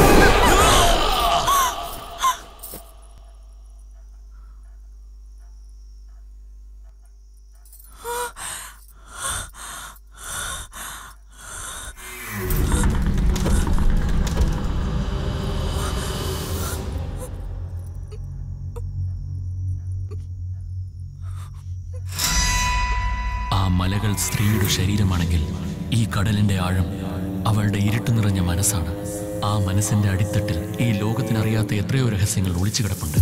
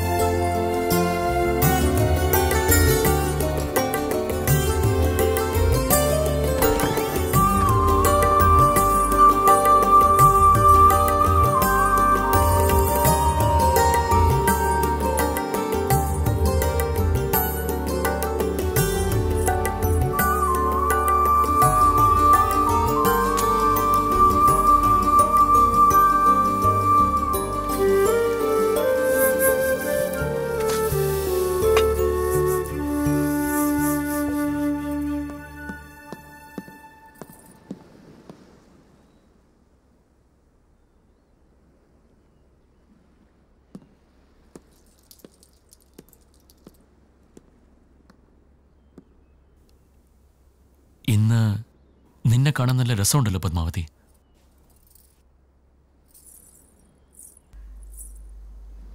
എങ്ങനെയുണ്ട്? വളരെ നന്നായിട്ടുണ്ടെന്ന് പറഞ്ഞാൽ അതൊരു തെറ്റായിപ്പോവും വാക്കുകൾക്ക് ചിലത് വർണിക്കാൻ പറ്റില്ല. അത് ഇഷ്ടപ്പെടുന്നവർക്കും അനുഭവിക്കുന്നവർക്കും മാത്രമേ മനസ്സിലാവൂ. ഒരു കാര്യം ചോദിച്ചോട്ടെ? നിന്നെ പോലത്തെ ഒരു സുന്ദരിയായ പെൺകുട്ടി എങ്ങനെയുള്ള ജീവിതം ആഗ്രഹിക്കുന്നത് എങ്ങനെയുള്ള ജീവിതം വേണമെന്ന് പ്രതീക്ഷിക്കാൻ സുന്ദരിയായ പെണ്ണെന്നോ സാധാരണ പെണ്ണെന്നോ ഉള്ള വ്യത്യാസം ഉണ്ടാവില്ല. ആ കാര്യത്തിൽ എല്ലാ പെണ്ണുങ്ങളും ഒന്ന് തന്നെയാ. ഏതൊരു പെൺകുട്ടിക്കും ചെറുപ്പത്തിൽ അച്ഛനായിരിക്കും അവളുടെ ലോകം. ലോകത്ത് അച്ഛനേക്കാൾ വലുതായി മറ്റാരും ഇല്ലെന്ന് തോന്നും. അച്ഛന്റെ കൂടെ അല്ലാതെ ഈ ലോകത്ത് ആരുടെയും കൂടെ ജീവിക്കാൻ പറ്റില്ലെന്ന് തോന്നും. കൗമാരപ്രായമാവുമ്പോൾ അമ്മയുടെ വില മനസ്സിലാവും. അമ്മയുടെ സ്നേഹം ഒരുപാട് കാര്യങ്ങൾ പഠിപ്പിക്കും. ചേട്ടൻ അനുജൻ ചേച്ചി അനുജത്തി ഇവർക്കെല്ലാവർക്കും ഒപ്പം ആടിപ്പാടി ആനന്ദത്തോടെ അവൾ വളരും. അങ്ങനെയുള്ള നിഷ്കളങ്കമായ സ്നേഹത്തിൽ നിന്ന് പുറത്തു വരുമ്പോഴാണ് അവൾക്കൊരു അഗ്നിപരീക്ഷ കാത്തിരിക്കുക. ജീവിതത്തിലേക്ക് വരാൻ പോകുന്ന പുതിയ ആളെക്കുറിച്ച് അവൾ ആലോചിച്ചുകൊണ്ടേയിരിക്കും. ആഗ്രഹങ്ങൾ ഒരുപാടുണ്ടാവും. സങ്കടപ്പെടും. മനസ്സ് കിടന്ന് പഠിക്കും. വിഷമിക്കും. പേടിക്കും. ഇത്രയും കാലം തനിക്ക് കിട്ടിയ നിഷ്കളങ്കമായ സ്നേഹം തന്റേതാവാൻ പോകുന്ന ആളുടെ അടുത്ത് ഉണ്ടാവണമെന്ന് അവൾ ഒരുപാട് കൊതിക്കും. പല പ്രതീക്ഷകളോടെ ദിവസങ്ങൾ എണ്ണി അവൾ ആകാംക്ഷയോടെ കാത്തിരിക്കും. അതിനുശേഷം അതുവരെ ഉണ്ടായിരുന്ന ബന്ധങ്ങളെല്ലാം അദ്ദേഹത്തെക്കാൾ വലുതല്ലെന്ന് തോന്നും. അദ്ദേഹം കൂടെയില്ലെങ്കിൽ ജീവിതം തന്നെ വേണ്ടെന്ന് തോന്നും. പെൺകുട്ടികൾ ഇങ്ങനെയാ അദ്ദേഹത്തെ ജീവന് തുല്യം സ്നേഹിക്കും. അതിനുശേഷം അവൾ സ്വന്തം കുഞ്ഞുങ്ങളെ സ്നേഹിക്കാൻ തുടങ്ങും. അവരുടെ ജീവിതം അവരുടെ കുട്ടികൾ സന്തോഷമായാലും ദുഃഖമായാലും ഓരോ നിമിഷവും ആനന്ദം കണ്ടെത്താൻ ശ്രമിക്കും. തനിക്ക് എത്ര ബന്ധങ്ങളുണ്ടെങ്കിലും എത്ര സന്തോഷമുണ്ടെങ്കിലും ഭർത്താവിന്റെ അടുത്തുനിന്ന് താൻ കൂടെ ഉണ്ടെന്നുള്ള ഒരു പ്രതീക്ഷ അവൾ എന്നും കൊതിക്കും. എന്താന്ന് വെച്ചാൽ തന്റെ ജീവിതത്തിൽ അവൾ അവസാന ശ്വാസം എടുക്കുന്ന സമയത്തും ഭർത്താവിന്റെ സ്നേഹമായിരിക്കും അവളുടെ പ്രാണൻ. അദ്ദേഹത്തിന്റെ തലോടൽ മാത്രമായിരിക്കും അവളുടെ ജീവിതം. എല്ലാ പെൺകുട്ടികളും ആഗ്രഹിക്കുന്നത് ഇതാണ്. പ്രാണനോളം സ്നേഹിക്കുന്ന ഭർത്താവും പ്രശ്നങ്ങളൊന്നുമില്ലാത്തൊരു ജീവിതവും. നിങ്ങൾ ചോദിച്ച പോലെ പെൺകുട്ടികളുടെ മനസ്സ് ഇരുട്ട് നിറഞ്ഞതാണെന്നൊന്നും എനിക്കറിയില്ല. എന്നാൽ വളരെ മനോഹരമായ ഒന്നാ. എന്താന്ന് വെച്ചാൽ അത് സ്നേഹം പകർന്നു കൊടുക്കും. സ്നേഹം മാത്രമേ കൊതിക്കൂ. കാര്യങ്ങൾ കാണുന്നതിലും മനസ്സിലാക്കുന്നതിനും ഒരുപാട് വ്യത്യാസമുണ്ടല്ലേ? ഇത്രയും കാലമായ ഒരു പെൺകുട്ടിയുടെ മനസ്സിൽ ഒരു ചോദ്യത്തിന് പോലും ഉത്തരമുണ്ടായിരുന്നില്ല. എന്നാൽ ഇപ്പോഴെനിക്ക് അതൊരു മനോഹരമായ ഉത്തരമാണെന്ന് മനസ്സിലായി. അങ്ങുന്നേ ആരാത് നമസ്കാരം അങ്ങുന്നേ ഞങ്ങൾ പുതിയതായിട്ട് വന്ന നാടോടികളാ. പത്മാവതി. നിനക്ക് ഇവരുടെ കളി കാണണോ?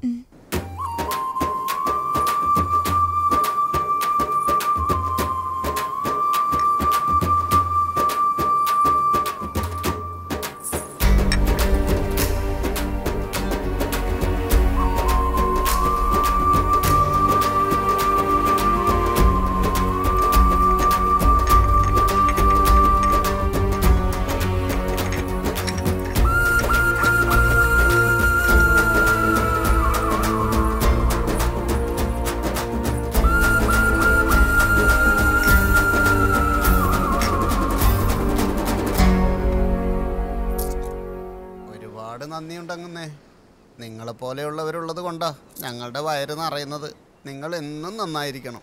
അധികപ്പറ്റ് പറയാന്ന് തെറ്റിദ്ധരിക്കല്ലേ അങ്ങുന്നേ? ഞങ്ങളുടെ നാട്ടിൽ പേര് കേട്ട ഒരു അമ്പലമുണ്ട്. ഒന്ന് തൊഴുതിട്ട് പോയാ ഭാര്യയ്ക്കും ഭർത്താവിനും നല്ലതേ നടക്കൂ. എനിക്ക് വേണ്ടി ഒന്ന് വന്നൂടെ അങ്ങുന്നേ? ഭാര്യയും ഭർത്താവുന്നു?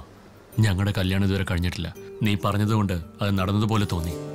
അതുകൊണ്ട് ആ വാക്കിന് വേണ്ടി ഞങ്ങൾ അങ്ങോട്ട് വരാം. എന്താ പത്മാവതി? അമ്പലത്തിലേക്ക് പോവാം. ഞാൻ ഇന്ന് വരാൻ പാടില്ല. ശരി എന്നാൽ ഞാൻ പോയിട്ട് വരാം.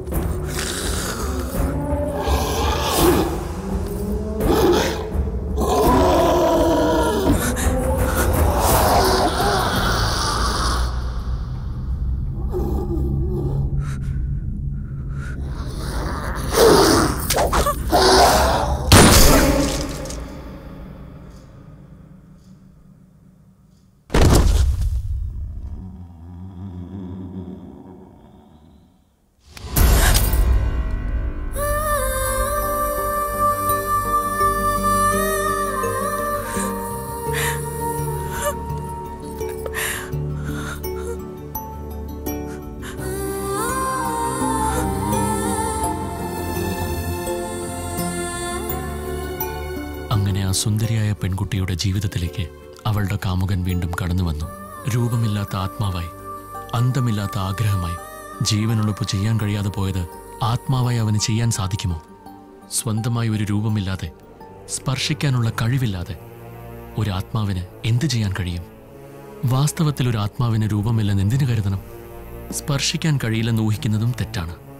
ഒരു ആത്മാവിന് കാണാൻ സാധിക്കുമെങ്കിൽ കേൾക്കാനുള്ള കഴിവുണ്ടെങ്കിൽ സ്പർശനം മണം രുചി ഇതെല്ലാം അതിനറിയാൻ പറ്റുമല്ലോ. അങ്ങനെയാണെങ്കിൽ ഒരു ആത്മാവിന് ഒരു മനുഷ്യൻ ചെയ്യുന്ന എല്ലാ കാര്യങ്ങളും ചെയ്യാൻ കഴിയുമോ? ആത്മാവിന് രൂപം വേണമെന്ന് പറയുന്നത് ഒരു ഊഹം മാത്രമല്ലേ?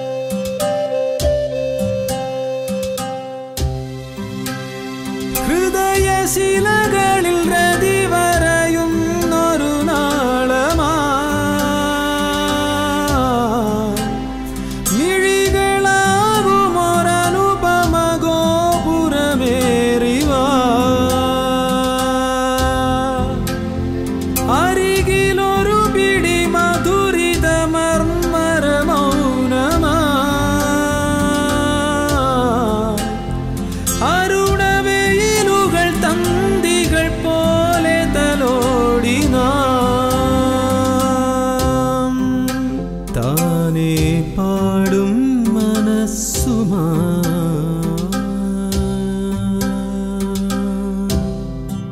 ശ്യാമോന്മാദം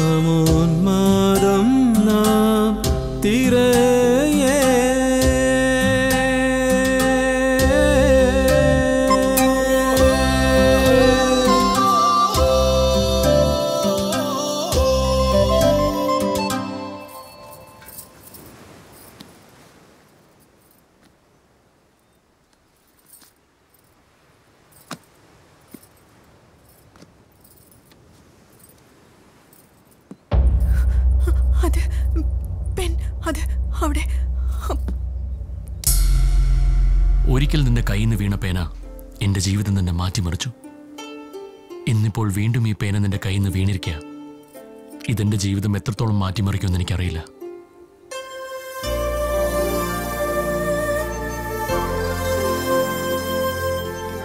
ഈ പേന എത്രയാ?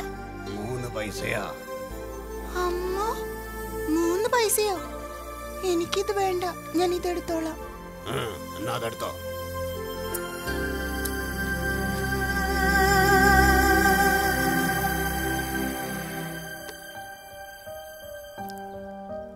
മാധവേട്ടാ ഈ പേന ഞാൻ എടുക്കുകയാണേ. മൂന്ന് ഒരാളെ ഇത്രമാത്രം ആരാധിക്കുന്ന ഒരാളുണ്ടാവുമോ? ഞാൻ വേണ്ടെന്ന് വലിച്ചെറിഞ്ഞ പേന സ്വന്തം പ്രാണനെ പോലെ കൊണ്ടു നടക്കുന്നു. ജീവിതത്തിൽ കഴിഞ്ഞുപോയ കാലങ്ങൾ ഓർത്ത് എന്റെ ജീവിതം ഞാൻ നശിപ്പിക്കുകയല്ലാതെ യഥാർത്ഥത്തിൽ കിട്ടുന്ന സന്തോഷങ്ങൾ ഞാൻ വലിച്ചെറിയുന്നു. എനിക്ക് സംഭവിച്ചത് തുറന്നു പറയാതെ ഇപ്പം മനസ്സിലുള്ള ആഗ്രഹവും പുറത്തു കാണിക്കാതെ എന്നെ ജീവന് തുല്യം സ്നേഹിക്കുന്നയാളെ ഞാൻ അവഗണിക്കുകയാണ്. എത്ര വലിയ തെറ്റാ ഞാൻ ചെയ്യുന്നത്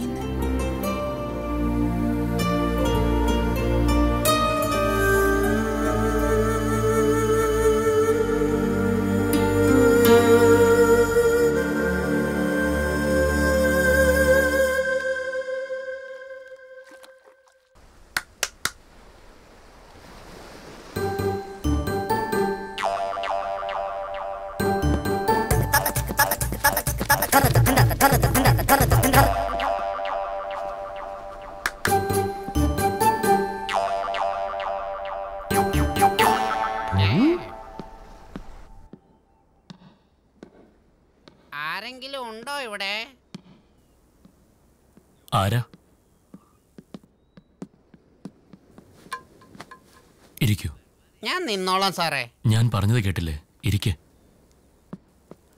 ഇനി പറ. സാറേ എന്റെ പേര് രാഘവൻ എന്നാ. സാറിന്റെ ശിഷ്യനാവണമെന്നുള്ളത് എന്റെ വലിയൊരു ആഗ്രഹമായിരുന്നു രണ്ട് മൂന്ന് പ്രാവശ്യം ഇതിനെക്കുറിച്ച് ഫോണിൽ സാറിനോട് സംസാരിച്ചിട്ടുണ്ടെന്നുള്ള കാര്യം സാറിനും അറിയാവുന്നതാണ്. തിരിച്ചുത്തരമൊന്നും കിട്ടാത്തത് കൊണ്ട് മറ്റൊന്നും ചിന്തിക്കാതെ ഞാൻ തന്നെ സാറിനെ നേരിൽ കാണാൻ ഇങ്ങോട്ട് വന്നതാണ്. ഒരുപാട് മലകളും പുഴകളും കാടുകളും കടന്നാണ് ഞാനിവിടെ എത്തിപ്പെട്ടത്. നിനക്ക് നേരുചുവെ സംസാരിക്കാൻ അറിയില്ലേ? അത് പിന്നെ സാറേ ഞാൻ ഇതുപോലെ സംസാരിച്ചില്ലെങ്കിൽ സാറിനെ ശിഷ്യനാക്കിയില്ലെങ്കിലോ എന്ന് ഓർത്തിട്ടാ. അതെന്താ?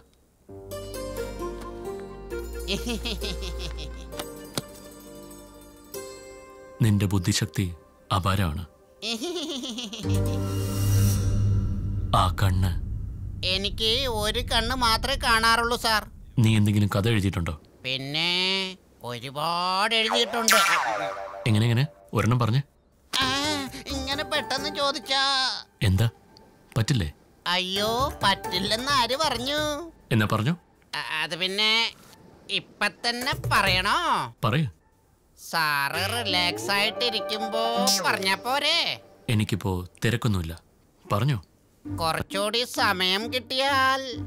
ഞാൻ അഞ്ചു മിനിറ്റ് കഴിഞ്ഞ് വരാം. അപ്പൊ പറയണം. ആയിക്കോട്ടെ സാറേ. കടലിനക്കരെ പോണോരെ കാണാ പോണോ?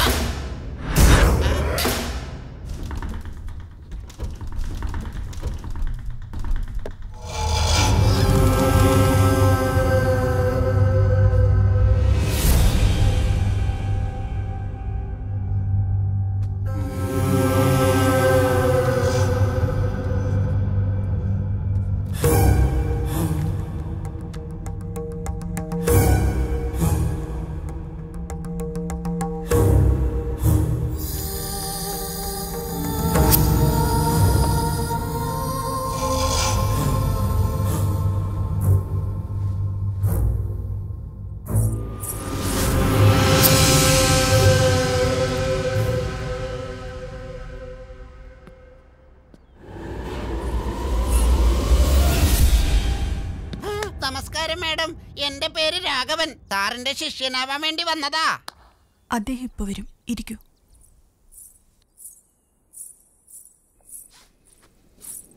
ആദ്യമായിട്ട് എന്റെ മുറിയിലേക്ക് വരല്ലേ? വലത് കാലം വെച്ച് കയറിക്കോ.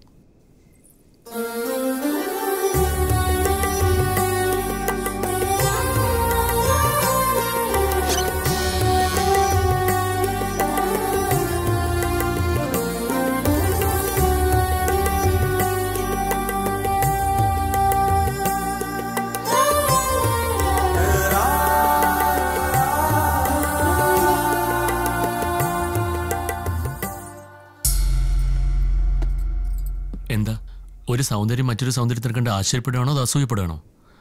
നിന്നെക്കുറിച്ചാ പറഞ്ഞ്. ഏറ്റവും സൗന്ദര്യം കൂടി സൃഷ്ടിയതെന്നറിയോ പെണ്ണ്. ആ പെണ്ണിനേക്കാൾ സൗന്ദര്യം കൂടിയത് ആർക്കാന്നറിയോ? മറ്റൊരു പെണ്ണിന്. അതുകൊണ്ട് നിനക്ക് ആശ്ചര്യപ്പെടാനോ അസൂയപ്പെടാനോ നിന്നെക്കാളും സൗന്ദര്യം കൂടിയതായിട്ട് അവിടെ ഒന്നും തന്നെ ഇല്ല. നോക്ക് സൗന്ദര്യം എന്ന് പറയുന്നത് ഒരു മയക്കുമരുന്നാണ്. അത് കഴിച്ചാൽ നമ്മളെല്ലാം മറക്കും. നീ വന്ന കാരണം പോലും ഞാൻ ചോദിക്കാൻ മറന്നതുപോലെ. എനിക്ക് നിങ്ങളോട് കുറച്ച് സംസാരിക്കാനുണ്ട്. നിന്റെ കണ്ണുകൾ കാണുമ്പോൾ അതൊരു പ്രധാനപ്പെട്ട കാര്യമാണെന്ന് എനിക്ക് മനസ്സിലാവുന്നുണ്ട്. പിന്നീട് പതുക്കെ സംസാരിച്ചാൽ പോരെ.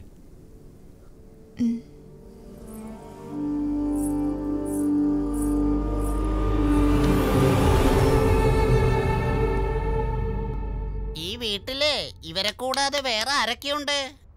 ഈ വീട്ടിൽ വേറെ ആലോചിച്ചോ. എന്നാ പറയാ. സാറേ കാടിന് നടുവിൽ തനിച്ചൊരു വീട്.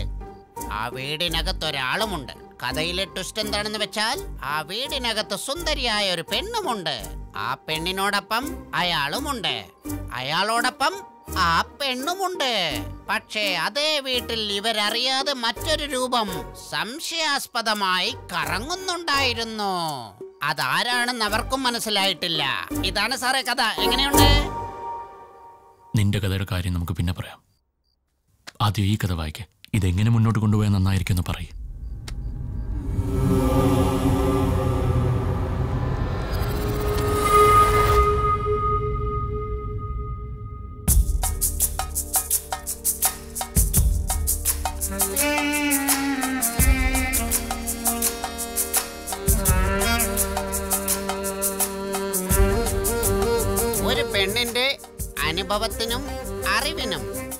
വെച്ചുണ്ടായ ഒരു പേടിയാണ് ഈ കഥയുടെ കഥാസാരമോ? എന്ത് തന്നെയായാലും എന്റെ ഗുരു നല്ലൊരു കഥാകൃത്ത് തന്നെ. അതുകൊണ്ടല്ലേ ഇന്നും ആ ഉയരത്തിൽ ഇരിക്കുന്നത്? അല്ല ഇതെന്താ? ബ്രെയിലെഴുത്ത് പോലെയുണ്ടല്ലോ. ഏ എന്നെ പോലെ അദ്ദേഹത്തിന് ബ്രെയിലെഴുത്ത് അറിയാമോ? ശരിക്കും കണ്ണ് കാണാത്തവരല്ലേ ഇതിൽ എഴുതാറ് ഓഹോ കണ്ണു കാണാത്തവർക്ക് പോലും ഇദ്ദേഹത്തിന്റെ കഥ വായിക്കുവാൻ വേണ്ടിയാണ് ഇങ്ങനെ ചെയ്തിരിക്കുന്നത്. ഇതും ഞാൻ വായിച്ച് നല്ല പേരെടുക്കുന്നത് കണ്ടോ?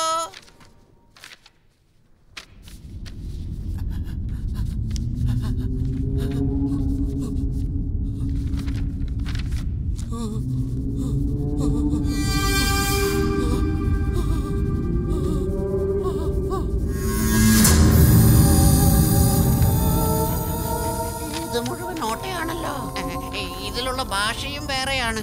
ഏത് ഭാഷയാണിത്?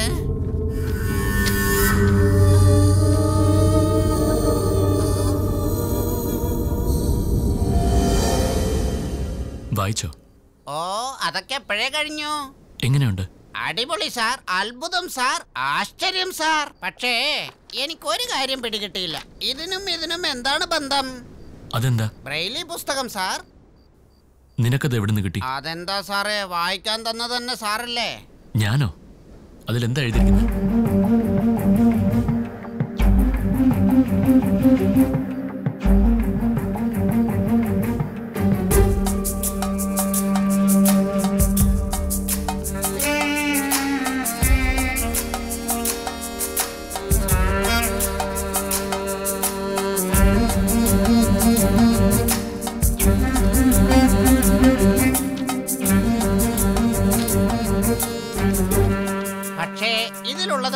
എനിക്ക് മനസ്സിലായില്ല.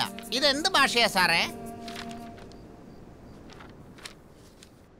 ശരി നീ പൊയ്ക്കോ.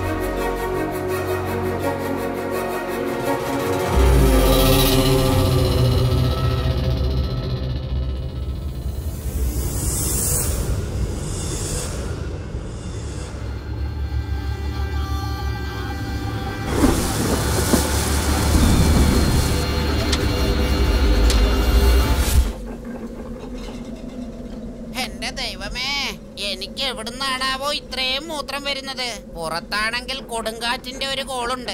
അകത്താണെങ്കിൽ സുനാമിയും. ഞാനിപ്പോ എന്താ ചെയ്യേണ്ട ദൈവേ? ഇനി പിടിച്ചു നിർത്താൻ പറ്റില്ല. ഓ മൂത്രം ഒഴിച്ചിട്ട് തന്നെ ബാക്കി കാര്യം. പാട്ട് പാടി ഉറക്കാം ഞാൻ. താമര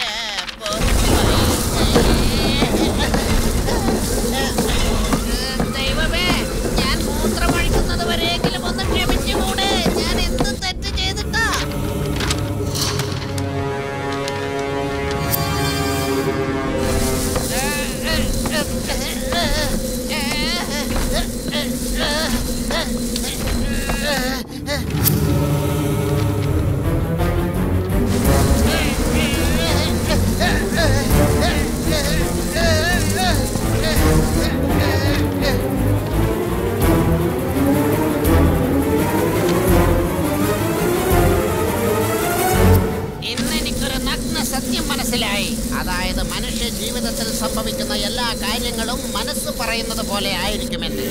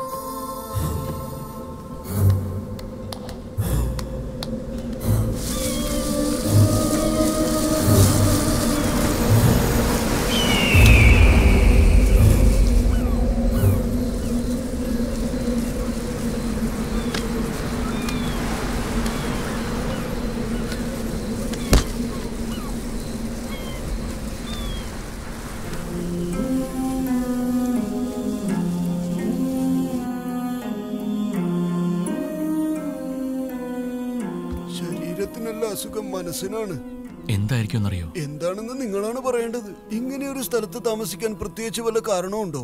എന്റെ അടുത്ത നോവൽ എഴുതാനായി ഞാൻ ഇവിടെ നിന്ന് കുറച്ച് ദൂരേക്ക് പോവാണ്. ഭയത്തിനെ കുറിച്ച് നിന്റെ അഭിപ്രായം എന്താ? ഒരു ക്ഷണം പോലും എനിക്ക് ഇവിടെ നിൽക്കാൻ പറ്റില്ല. എനിക്ക് പുറപ്പെടാനുള്ള ഏർപ്പാട് ചെയ്യാമോ? നിങ്ങളുടെ കഥ പൂർത്തിയാകുന്നത് വരെ എനിക്ക് കുറച്ച് സമയം. അവനൊരു ആത്മാവായി തിരിച്ചു വന്നിരിക്കുക കൊല്ലില്ലേ? എന്താ ആദിത്യ ഇത്? വിദ്യാഭ്യാസം ഉണ്ടല്ലോ.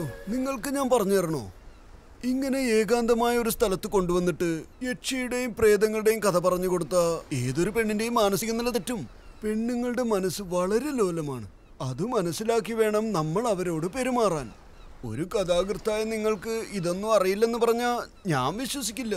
ഇപ്പൊ അവളുടെ സ്ഥിതി എന്താണ്? അവർക്ക് ഹിസ്റ്റീരിയാണ് അങ്ങനെന്ന് വെച്ചാൽ?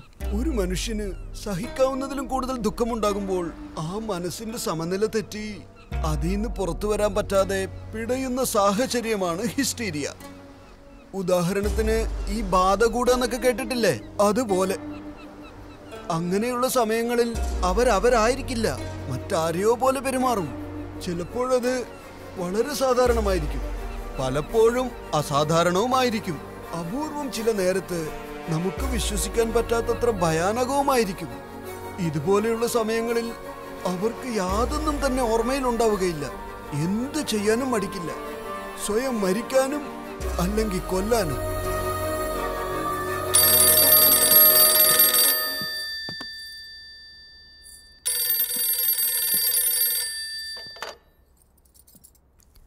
ഹലോ?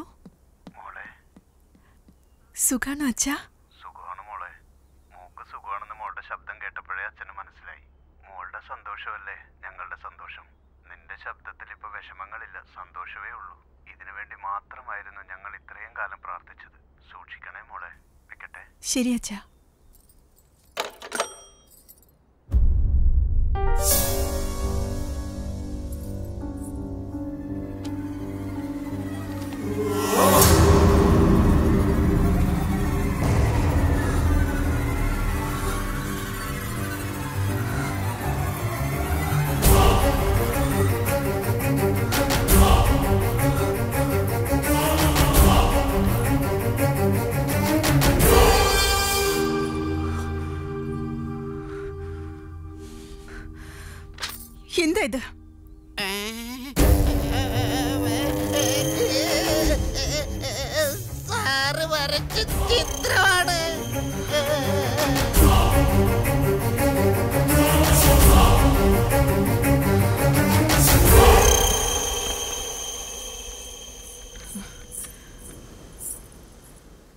കാര്യം ചോദിച്ചോട്ടെ? ആരാ നിങ്ങൾ? എന്റെ ജീവിതത്തിലേക്ക് എന്തിനാണ് വന്നത്? നീ എന്താ അങ്ങനെ ചോദിച്ചത് പത്മാവതി?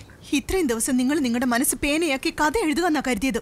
പക്ഷേ അത് പേനയല്ല കത്തിയാ. ഒരു പെണ്ണിന്റെ മനസ്സ് കീറി മുറിക്കുന്ന കത്തി. അതുകൊണ്ട് ആ മനസ്സ് കണ്ടും തുണ്ടമായി വെട്ടിയെറിയുക കാട്ടിലെ ക്രൂര മൃഗങ്ങൾ പോലും അവറ്റകളുടെ വിശപ്പിന് വേണ്ടി മാത്രമേ വേട്ടയാടൂ. പക്ഷെ ചെന്നായുടെ മുഖം മൂടി അണിഞ്ഞ നിങ്ങളെ പോലെയുള്ള മനുഷ്യര് മാത്രം മറ്റുള്ളവരുടെ സന്തോഷത്തെയാണ് വേട്ടയാടി തിന്നുക. അവരുടെ നിസ്സഹായത മുഴുവനും മുതലെടുക്കും. സ്നേഹം എന്ന മനോഹരമായ വാക്കുപയോഗിച്ച് ഇത്രയും ക്രൂരമായി ചിന്തിക്കാൻ എങ്ങനെ കഴിഞ്ഞു? എന്റെ അച്ഛനോടുള്ള പക തീർക്കാൻ വേണ്ടി എന്നെ നിങ്ങൾ ഉപയോഗിക്കായിരുന്നില്ലേ? എന്നോ നിങ്ങളെ അടിച്ചു എന്നുള്ള ദേഷ്യം തീർക്കാൻ എന്നെ നിങ്ങൾ കരുവാക്കുകയായിരുന്നു. പത്മാവതി നീ എന്താ സംസാരിക്കുന്നത് എനിക്ക് മനസ്സിലായില്ലെങ്കിൽ കുഴപ്പമില്ല. മറിച്ച് നിനക്കും മനസ്സിലാവുന്നില്ലെന്ന് എനിക്ക് തോന്നുന്നു. മനസ്സിലാവുന്നുണ്ട്. എല്ലാം മനസ്സിലാവുന്നുണ്ട്. ഏത് കഥ മറക്കാനാണോ ഞാൻ ഓരോ നിമിഷവും കഠിനമായി പരിശ്രമിച്ചുകൊണ്ടിരിക്കുന്നത്. ആ കഥ തന്നെ എന്റെ കഥ തന്നെ നിങ്ങളുടെ കഥയാക്കി എഴുതി എന്നെ കേൾപ്പിക്കുകയാണല്ലേ? നിന്റെ കഥയോ? എന്താ? ഇതുവരെ മനസ്സിലായില്ലേ നിങ്ങൾക്ക്? ഇതെന്താ? ഇദ്ദേഹത്തിലൂടെ അറിഞ്ഞു എന്നുള്ളത് സത്യ. അപകടത്തിൽ ഇദ്ദേഹം മരിച്ചു എന്നുള്ളതും സത്യ. എല്ലാ കാര്യങ്ങളും അന്വേഷിച്ചറിഞ്ഞ് നിങ്ങൾ എന്റെ ജീവിതത്തിലേക്ക് വന്നതും സത്യ. ഇതല്ലേ? ഈ കഥയല്ലേ നിങ്ങൾ എന്നോട് പറഞ്ഞത്? വേണമെന്ന് വെച്ച് എന്റെ ഭൂതകാലം ഒരു കഥയാക്കി എന്നോട് പറഞ്ഞ് ഓരോ നിമിഷവും നിങ്ങൾ എന്നെ പെടപ്പിക്കായിരുന്നില്ലേ? നിങ്ങളുടെ ഉന്മാദത്തിന് നിങ്ങൾ സ്നേഹം ഒന്ന് സ്റ്റോപ്പ് ഇറ്റ് നോക്കു പത്മാവതി. ഒരു സത്യം കള്ളമായി മാറാൻ ഒരു വാക്ക് മാറിയാൽ മാത്രം മതി. പക്ഷെ ഒരു കള്ളം സത്യമായി മാറ്റാൻ സംശയം മാത്രം മതി. കാര്യങ്ങൾ അറിയാൻ ശ്രമിച്ചാൽ നിനക്ക് മനസ്സിലാവും. നിന്നോട് എനിക്ക് എത്രത്തോളം സ്നേഹമുണ്ടെന്ന് കാണിക്കാനുള്ള ഒരു അവസരം കിട്ടിയാൽ മാത്രം മതി. ആ നിമിഷം ഞാൻ എന്റെ ജീവൻ വരെ കൊടുക്കാൻ തയ്യാറായിട്ട് നിൽക്കുകയാണ് പത്മാവതി. നിന്നോട് എനിക്ക് എത്രത്തോളം സ്നേഹമുണ്ടെന്ന് കാണിക്കാൻ എനിക്കറിയാവുന്ന ഭാഷകളോ വാക്കുകളോ എന്തുപയോഗിച്ചാലും ഒന്നും തന്നെ മതിയാവില്ല. ഞാൻ നിന്നെ അറിയാതെ വേദനിപ്പിച്ചാൽ പോലും എനിക്ക് എന്നോട് തന്നെ വെറുപ്പ് തോന്നുന്ന പോലെ ഭ്രാന്ത് പിടിച്ച സ്നേഹമാണ് എന്റെത്. അങ്ങനെയുള്ള ഞാൻ നിന്നെ എന്തിനു വിഷമിപ്പിക്കണം? നിന്റെ കഥയെ എന്റെ കഥയായിട്ട് എഴുതിയത് തികച്ചും യാദർശികമായിരുന്നു. അല്ലാതെ ഇതൊന്നും ഞാൻ അറിഞ്ഞു ചെയ്തതല്ല. കാരണം ഒരു എഴുത്തുകാരന്റെ ഭാവനയ്ക്ക് അതിരുകളില്ല. ഒരു ചെറിയ തീപ്പൊരി ഒരു വലിയ കാട്ടിന് തീ വയ്ക്കുന്നത് പോലെ. ഒരു എഴുത്തുകാരന്റെ ഭാവനയിൽ നിന്നും ഒരുപാട് കഥകളും കഥാപാത്രങ്ങളും ഉണ്ടായിക്കൊണ്ടേയിരിക്കും. അങ്ങനെ ഉണ്ടാവുന്ന ഒരു കഥാപാത്രത്തിന്റെ കഥയ്ക്ക് ഈ ലോകത്തിലുള്ള ആരുടെയെങ്കിലും ഒരു കഥയായി സാമ്യമുണ്ടാവാം. അത് സാധാരണമാണ്. അതുകൊണ്ട് ആ ജീവിതമാണ് കഥയായി എഴുതിയതെന്ന് പറഞ്ഞിട്ട് ഒരു കാര്യവുമില്ല. നിന്റെ കഥ എഴുതിയതിൽ എനിക്ക് ഒരു ഉദ്ദേശവും ഇല്ലെന്ന് മനസ്സിലാക്കും പത്മാവതി. എന്റെ ഭാവനയിൽ നിന്നും വന്ന് നിന്റെ ജീവിതത്തിന്റെ പ്രതിച്ഛായയാണിത്. ദേഷ്യപ്പെടാണ്ട് സമാധാനമേരുന്ന് ആലോചിക്ക്. നിനക്ക് മനസ്സിലാവും. നിങ്ങൾ പറഞ്ഞതെല്ലാം സത്യം തന്നെയാണോ? ഞാൻ പറയുന്നത് മനസ്സിലാക്ക്. എനിക്ക് രണ്ട് കാര്യങ്ങൾ ചെയ്യാൻ അറിയാവുള്ളൂ ഒന്ന് എഴുതുക എന്നുള്ളത്. രണ്ട് പ്രണയിക്കുന്നത്.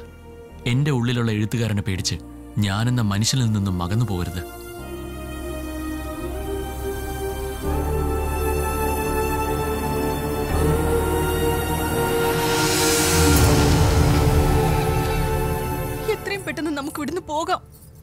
ഈ കഥ എഴുതി തീർത്തതും നമ്മൾ ഇവിടുന്ന് പോകും. ഞാൻ പറയുന്നത് കേൾക്ക്. എനിക്ക് പേടിയാവുന്നു.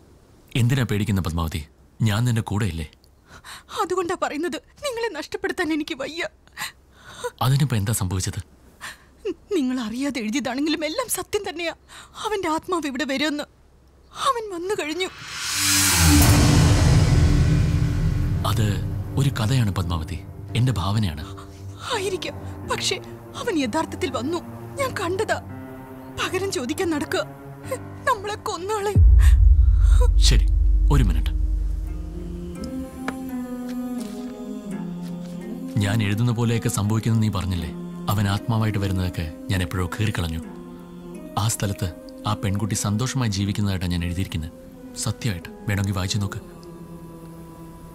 ഇനി അവൻ ആത്മാവായിട്ട് കൊല്ലാൻ വേണ്ടി ഇങ്ങോട്ട് വന്നാൽ അവൻ ആരെയാ കൊല്ലാൻ പോകുന്നത്? എന്നെയല്ലേ?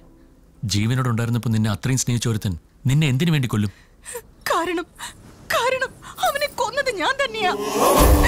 പുഞ്ചരി ഞാനാ കൊന്നത്. ഞാനാ കൊന്നത്. ഞാൻ തന്നെയാ കൊന്നത്.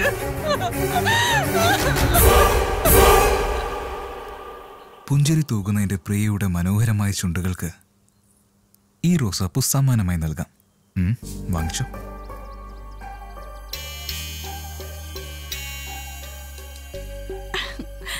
റോസപ്പൂവോ? എവിടെ? എന്താ പത്മ? യാതൊരു രൂപമില്ലാത്ത മനസ്സ് നിന്നപ്പോ വാങ്ങിയില്ലേ?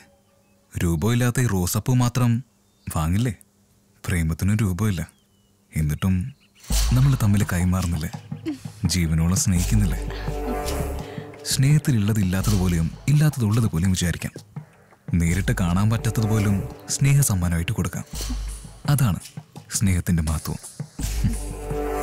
വാങ്ങിച്ചോ? ഹേയ് ഒരു മിനിറ്റ് പത്മ. സൂക്ഷിച്ചു പിടിക്ക് പത്തു. ഇതിലും മുള്ളുണ്ട്. നിനക്കൊരു കാര്യം അറിയ പത്മേ? റോസാപ്പൂവിന്റെ സുഗന്ധം സത്യസന്ധമായ സ്നേഹത്തിന്റെ ലക്ഷണമാ. അങ്ങനെയുള്ള സുഗന്ധം നമ്മളെപ്പോലെ സ്നേഹിക്കുന്നവർ ശ്വസിക്കുമ്പോഴാണ് അതിന് ബഹുമാനം ഉണ്ടാവുന്നത്. ഒന്ന് മണത്ത് നോക്ക്. ഏയ് പതുക്കെ പൂവിനെ വേദനിക്കും.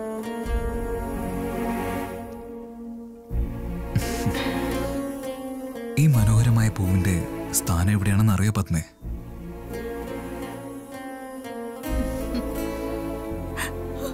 അവന്റെ സ്നേഹം സത്യമാണോ? അല്ലെങ്കിൽ സ്നേഹിക്കുന്നത് പോലെ അഭിനയിക്കുകയാണോ എന്ന് മനസ്സിലാക്കാൻ പറ്റാത്ത ഒരവസ്ഥയിലെത്തിയ നിമിഷമായിരുന്നു അത്. മനോഹർ എനിക്കൊന്ന് നിനക്കൊന്ന്. രണ്ടും നീ തന്നെ കഴിച്ചു. ഞാൻ സിഗരറ്റ് വലിച്ചോളാം. ഇരിക്കേ.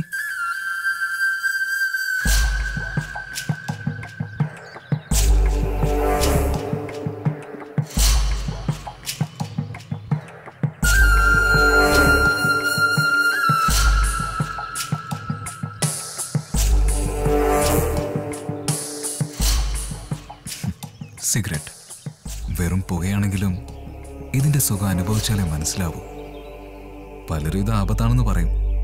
പക്ഷെ വലിക്കുന്നവർക്ക് ഇത് ശരിക്കും പ്രാണവായന തുല്യമാ. നീ എന്താ അങ്ങനെ നോക്കുന്നേ? ഓ സിഗരറ്റ് വലിച്ചോണ്ടാണല്ലേ? എപ്പോഴൊന്നുമില്ല ബദ്ധു. ഇടയ്ക്കിടയ്ക്ക് മാത്രം. നീ കഴിച്ചോ?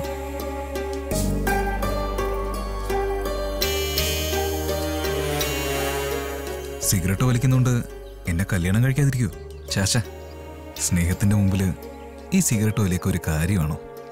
പക്ഷെ സിഗരറ്റ് വലിക്കാത്തവർ അടുത്ത ജന്മം കഴുതിയിട്ട് ജനിക്കുന്ന മൂത്തവർ പറയാറ്. അടുത്ത ജന്മത്തിൽ ഞാൻ കഴുതിയെ ജനിച്ചാലേ നിനക്ക് എന്നെ ഇഷ്ടപ്പെടുവോ? ആ.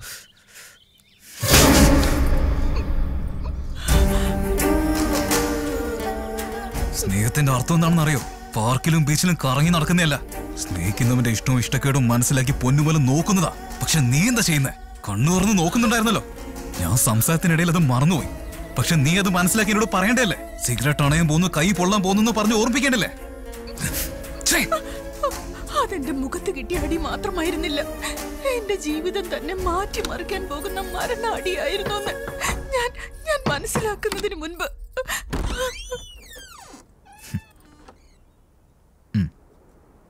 എടുക്കാൻ മറന്നു എന്ന് പറഞ്ഞത് ഈ പൂവായിരുന്നു. എന്തേ? വേണ്ടേ? വേണം. ആരാടാ നീ? ആരെക്കുറിച്ചാ?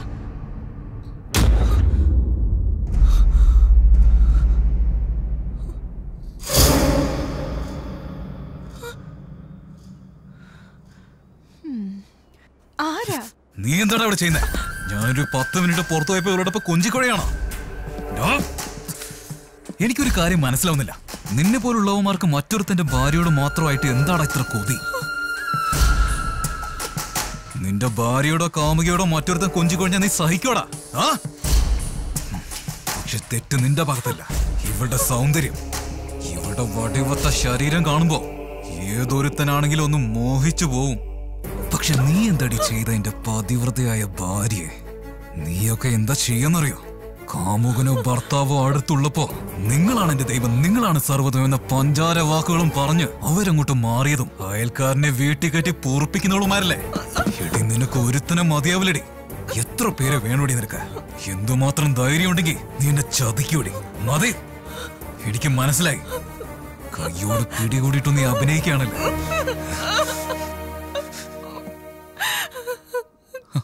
അയ്യോ അയ്യോ പത്മാവതി. കരയണോ നീ? ഈ ചെറിയ കാര്യത്തിന് പോയി ഞാനൊരു തമാശയ്ക്ക് പറഞ്ഞല്ലേ നോക്ക് ഭാര്യ ഭർത്ത ബന്ധം എന്ന് പറയുന്നത് പവിത്രമായതാ. എപ്പോഴും പവിത്രമായിരിക്കണം. പ്രത്യേകിച്ച് ഭാര്യ അവൾ പതിവൃതയായിരിക്കണം നാളെ നമ്മുടെ കല്യാണത്തിന് ശേഷം അയലത്ത് താമസിക്കുന്ന ഏതവനും നിന്നോട് ഇഷ്ടം തോന്നാം. എന്ന് വെച്ച് അവന്മാരോടൊപ്പം കിടക്കാൻ പാടില്ലല്ലോ. കാരണം നിങ്ങൾ സ്ത്രീകളെല്ലാവരും നിഷ്കളങ്കര്. ആണുങ്ങൾ പഞ്ചാരവാക്ക് പറഞ്ഞ് എന്ത് ചോദിച്ചാലും അത് നിങ്ങളുടെ ശരീരമാണെങ്കിലും നിങ്ങൾ കൊടുത്തിരിക്കും.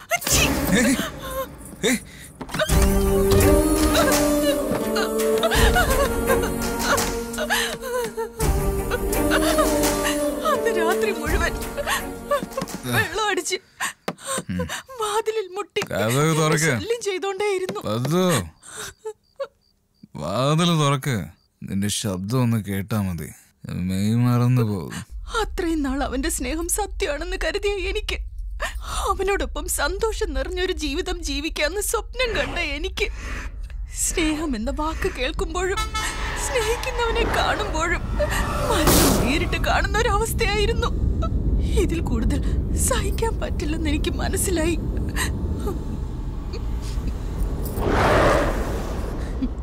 കണ്ടില്ലേ പത്തു?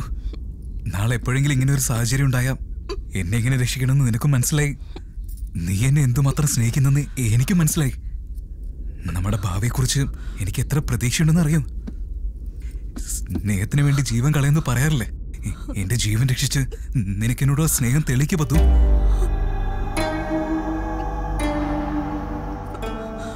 പത്തു കാണിക്കുന്ന? പത്തു.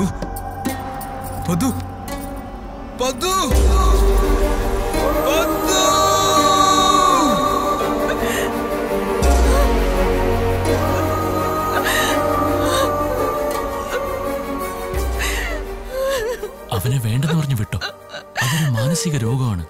ചികിത്സ കൊടുത്താൽ ശരിയാവും. നീ അതിനു വേണ്ടി എന്താ? അസുഖോ? അതൊരു അസുഖമായിരുന്നോ മുമ്പിൽ ലോറി ഒന്നും ഉണ്ടായിരുന്നില്ല. എന്നിട്ട് അപകടം ഉണ്ടാക്കി അവൻ അസുഖമാണെന്നാണോ നിങ്ങൾ പറയുന്നത് അത് ആലോചിച്ചെടുത്ത ഒരു തീരുമാനമായിരുന്നില്ല അവനോടുള്ള ദേഷ്യം കൊണ്ട് ഞാൻ ചെയ്തതുമല്ല. ഒട്ടും പ്രതീക്ഷിക്കാതെ നടന്ന ഒരു അപകടമായിരുന്നു.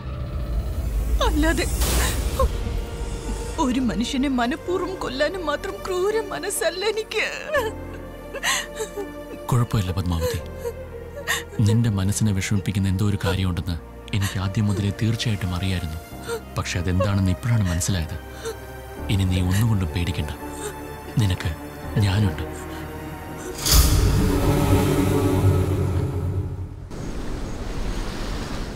സാറേ ഇവിടെ കഥാനായകൻ കഥാനായികയോട് പ്രേമം പറയാതെ പറയുന്ന രീതി വളരെ നന്നായിട്ടുണ്ട്.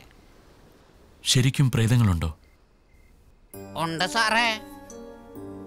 നീ കണ്ടിട്ടുണ്ടോ? കാണാൻ പറ്റാത്ത പലതും നമ്മൾ വിശ്വസിക്കുന്നില്ലേ സാറേ? കാറ്റും മണവും ശബ്ദവും അങ്ങനെ പലതും. ഇതൊക്കെ നമുക്ക് മനസ്സിലാക്കാനല്ലേ പറ്റുന്നുള്ളൂ സാർ. അത്രയ്ക്കൊക്കെ എന്തിനാ സാർ? നമുക്ക് കാണാൻ പറ്റാത്ത നമ്മുടെ മനസ്സിനെ നമ്മൾ വിശ്വസിക്കുന്നില്ലേ? അത് നല്ലതാണെങ്കിലും ചീത്തയാണെങ്കിലും മനസ്സ് പറയുന്നതല്ലേ നമ്മൾ കേൾക്കാറുള്ളൂ. എന്ത് ചെയ്താലും എവിടെ പോയാലും മനസ്സിനല്ലേ അനുസരിക്കുന്നുള്ളൂ. നമ്മൾ ജീവിച്ചിരിക്കുമ്പോൾ നമ്മുടെ മനസ്സ് മരിച്ചു പോയാൽ പിന്നെ എന്താ ചെയ്യ സാറേ? ജീവിച്ചിരിക്കുമ്പോൾ നമ്മൾ എന്തിനാണോ മനസ്സെന്ന് പറയുന്നത്? മരിച്ചതിന് ശേഷം അതാണ് ആത്മാവും പ്രേതവും ഒക്കെ. ഞാൻ ഇവിടെയാണെങ്കിലും മനസ്സ് എവിടെയാണെന്നൊക്കെ പറയുന്നില്ലേ? എന്താ മനസ്സെവിടെയോ പോയത് കൊണ്ടല്ലേ?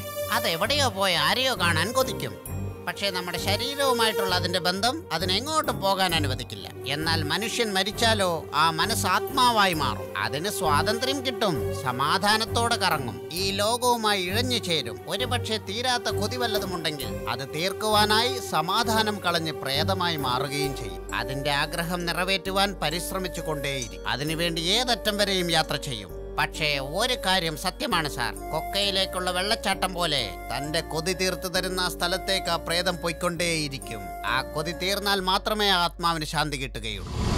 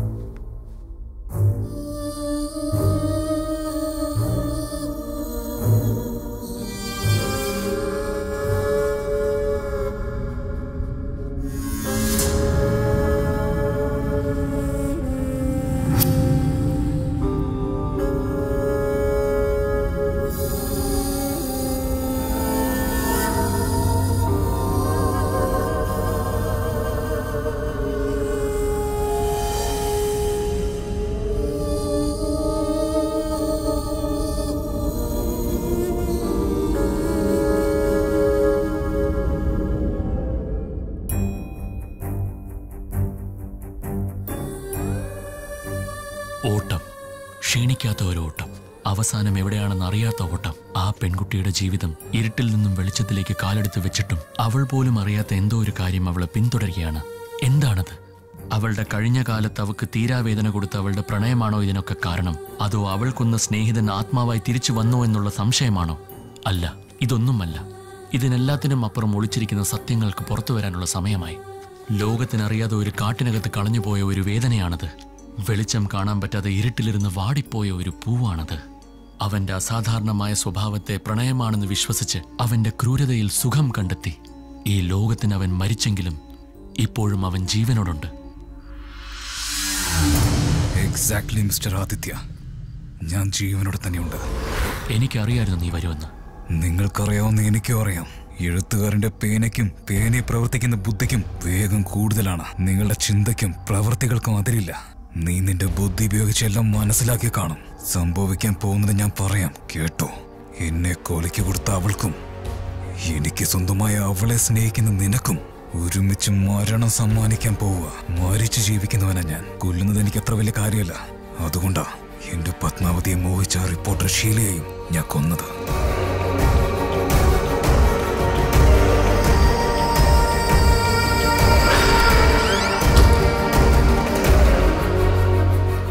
കാലമായി നിന്നെ കൊണ്ട് സാധിക്കാത്തത് ഇപ്പൊ സാധിക്കുമെന്ന് തോന്നുന്നുണ്ടോ? എന്റെ പ്രയത്നം ഇന്നോ ഇന്നലെ തുടങ്ങിയതല്ല. നിങ്ങൾ ഇവിടെ വന്നപ്പോ തൊട്ട് തുടങ്ങിയതാ. അന്നു മുതൽ പത്മാവതിയെ കൊല്ലാൻ ഞാൻ ശ്രമിക്കുകയായിരുന്നു. പക്ഷെ അവൾ അങ്ങനെ പെട്ടെന്ന് കൊല്ലാൻ പാടില്ല. ഓരോ നിമിഷവും ക്രൂരമായി വേദനിപ്പിച്ച് കരയിപ്പിച്ചു കൊല്ലണം.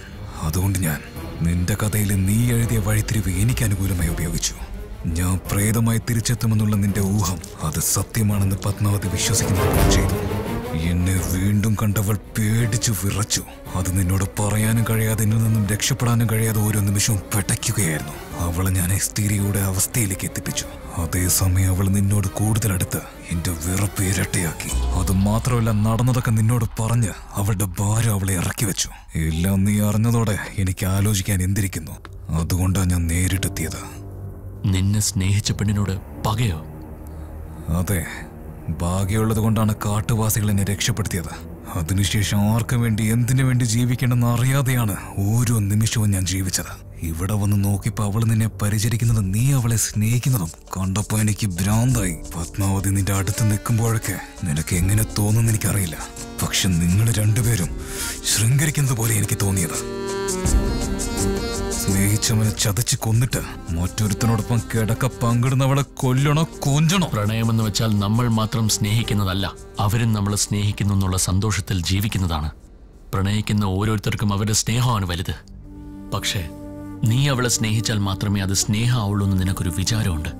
നോക്ക് നമുക്കൊരാളെ സ്നേഹിക്കാൻ ഒരു നിമിഷം മതി.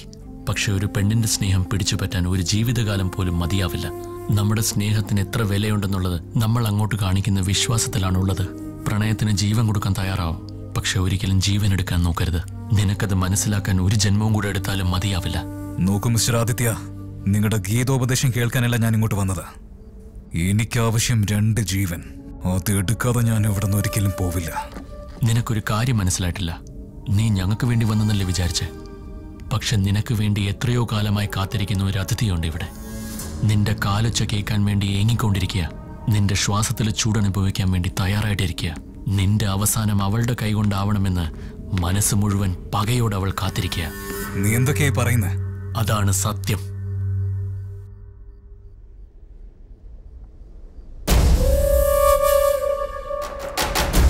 വാടി പത്മാവതി. ഊന്തിനെ പോലെ നിറം മാറ്റി എത്ര കാലം നീ ഒളിച്ചു ജീവിക്കും ഈ സൗന്ദര്യം കാണിച്ച് നീ ഇനി എത്ര പേരെ ചതിക്കും എത്ര പേരുടെ ജീവിതം നശിപ്പിക്കും?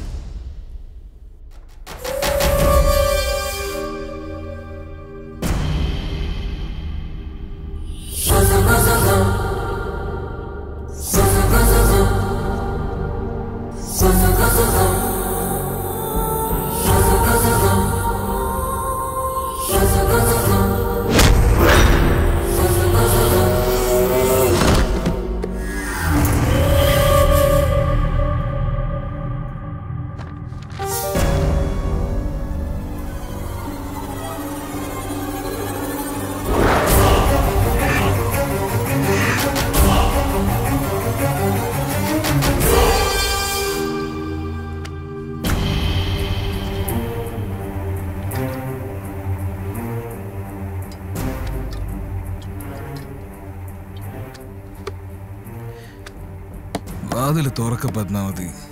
എനിക്ക് വിശക്കുന്നു. വാതിൽ തുറക്ക്. ശരി. നീ തുറക്കില്ലല്ലേ? ഞാൻ രംഗയന്റെ വീട്ടിൽ പോയി കഴിച്ചോളാം. അച്ഛാ എന്താ അച്ഛാ? ഇന്ന് ഒരുപാട് വൈകിയാണല്ലോ വന്നത്. എപ്പോഴും ആ വലിയ വീട്ടിലെ ജോലികളൊക്കെ തീർത്തിട്ട് നേരത്തെ വീട്ടിലെത്താറുള്ളതാണല്ലോ? അല്ലേലും ഞാൻ എന്ത് പറഞ്ഞാലും അച്ഛനെ കേൾക്കാൻ പോകുന്നില്ലല്ലോ. അതുപോലെ അച്ഛൻ എന്തെങ്കിലും കാണിച്ചാ അതെനിക്ക് കാണാനും പറ്റില്ല. നമ്മുടെ രണ്ടുപേരുടെയും തലയെഴുത്ത് ഇങ്ങനെയായി പോയല്ലോ അച്ഛ. നല്ല പുളിശ്ശേരി ഉണ്ടാക്കിയിട്ടുണ്ട്. എനിക്ക് പറ്റാവുന്ന വിധത്തിൽ എരിവും പുളിയൊക്കെ ചേർത്തിട്ടുണ്ട് കേട്ടോ എങ്ങനെ ഉണ്ടാവും എനിക്ക് അറിഞ്ഞുകൂടാ സംസാരിക്കാൻ കഴിവില്ലാത്തത് കൊണ്ട് അതൊന്നും നോക്കാതെയാ എന്റെ അച്ഛൻ കഴിക്കുന്നത്. എന്റെ ചക്കര അച്ഛൻ.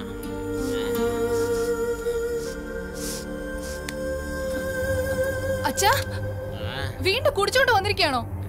എത്ര പ്രാവശ്യം ഞാൻ അച്ഛനോട് പറയണ്ടേ ഈ വൃത്തികെട്ട സ്വഭാവം ഒന്ന് നിർത്തുന്നു? കണ്ണ് കാണാത്തവളെ പെട്ടെന്ന് പറ്റിക്കാന്ന് വിചാരിച്ചല്ലേ?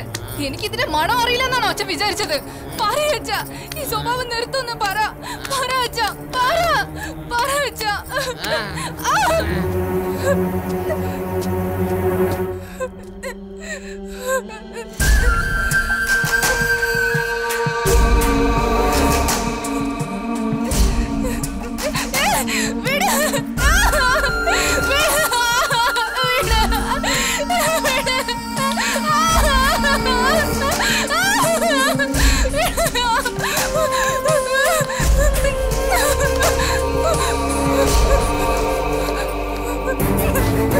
Oh,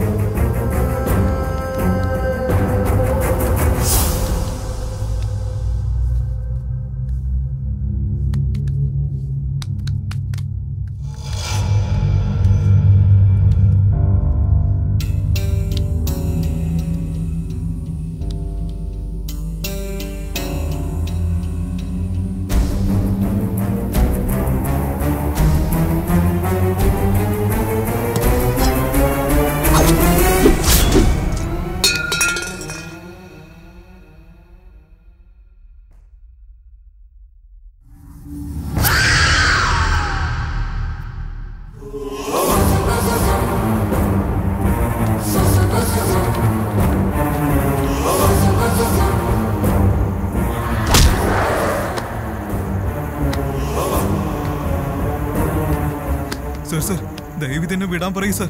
ഞാൻ ഇനി ഒരിക്കലും ഇങ്ങോട്ട് വരില്ല സർ. ഞാൻ പൊയ്ക്കോളാം. നീ അറിഞ്ഞോ അറിയാതെയോ ചെയ്തത് വലിയൊരു തെറ്റായിപ്പോയി. മനുഷ്യരായതുകൊണ്ട് ഞാനും പത്മാവതി നിന്റെ പാപങ്ങൾക്കെല്ലാം മാപ്പ് തരാൻ തയ്യാറാണ്. എന്നാൽ രമ്യ ഒരു മനുഷ്യയല്ല അവൾ നിനക്ക് മാപ്പും തരില്ല. നിന്നെ പോലത്തെ മൃഗങ്ങൾ ഈ ലോകത്ത് ജീവിക്കുന്നത് അവൾക്ക് ഇഷ്ടപ്പെടില്ല. അവൾ പക തീർക്കാനാണ് വന്നത്. നീ മരിച്ചാൽ മാത്രമേ അവൾക്ക് സമാധാനം കിട്ടൂ.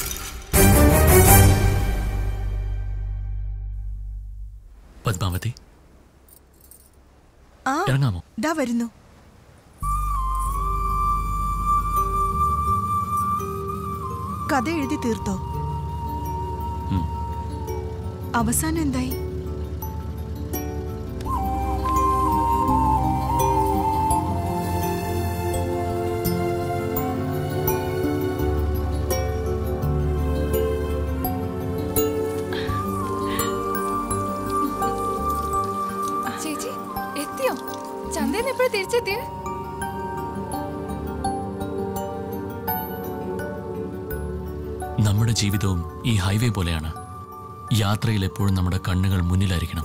എന്നാൽ മാത്രമേ നമുക്ക് എതിരെ വരുന്ന പ്രശ്നത്തിന് ശരിയായ രീതിയിൽ നേരിടാൻ പറ്റൂ. കടന്നുപോയ പ്രശ്നങ്ങളെക്കുറിച്ച് ആലോചിച്ച് പിന്നോട്ട് നോക്കിയിരുന്നാൽ അത് വലിയൊരു അപകടത്തിലായിരിക്കും ചെന്നപ്പെടുന്നത്. അതുകൊണ്ട് ഭാവിയിൽ സംഭവിക്കാൻ പോകുന്ന നല്ല കാര്യങ്ങളെക്കുറിച്ച് എപ്പോഴും ആലോചിക്കണം. കടന്ന കാലത്തിനെക്കുറിച്ച് ഒരിക്കലും ആലോചിക്കരുത്.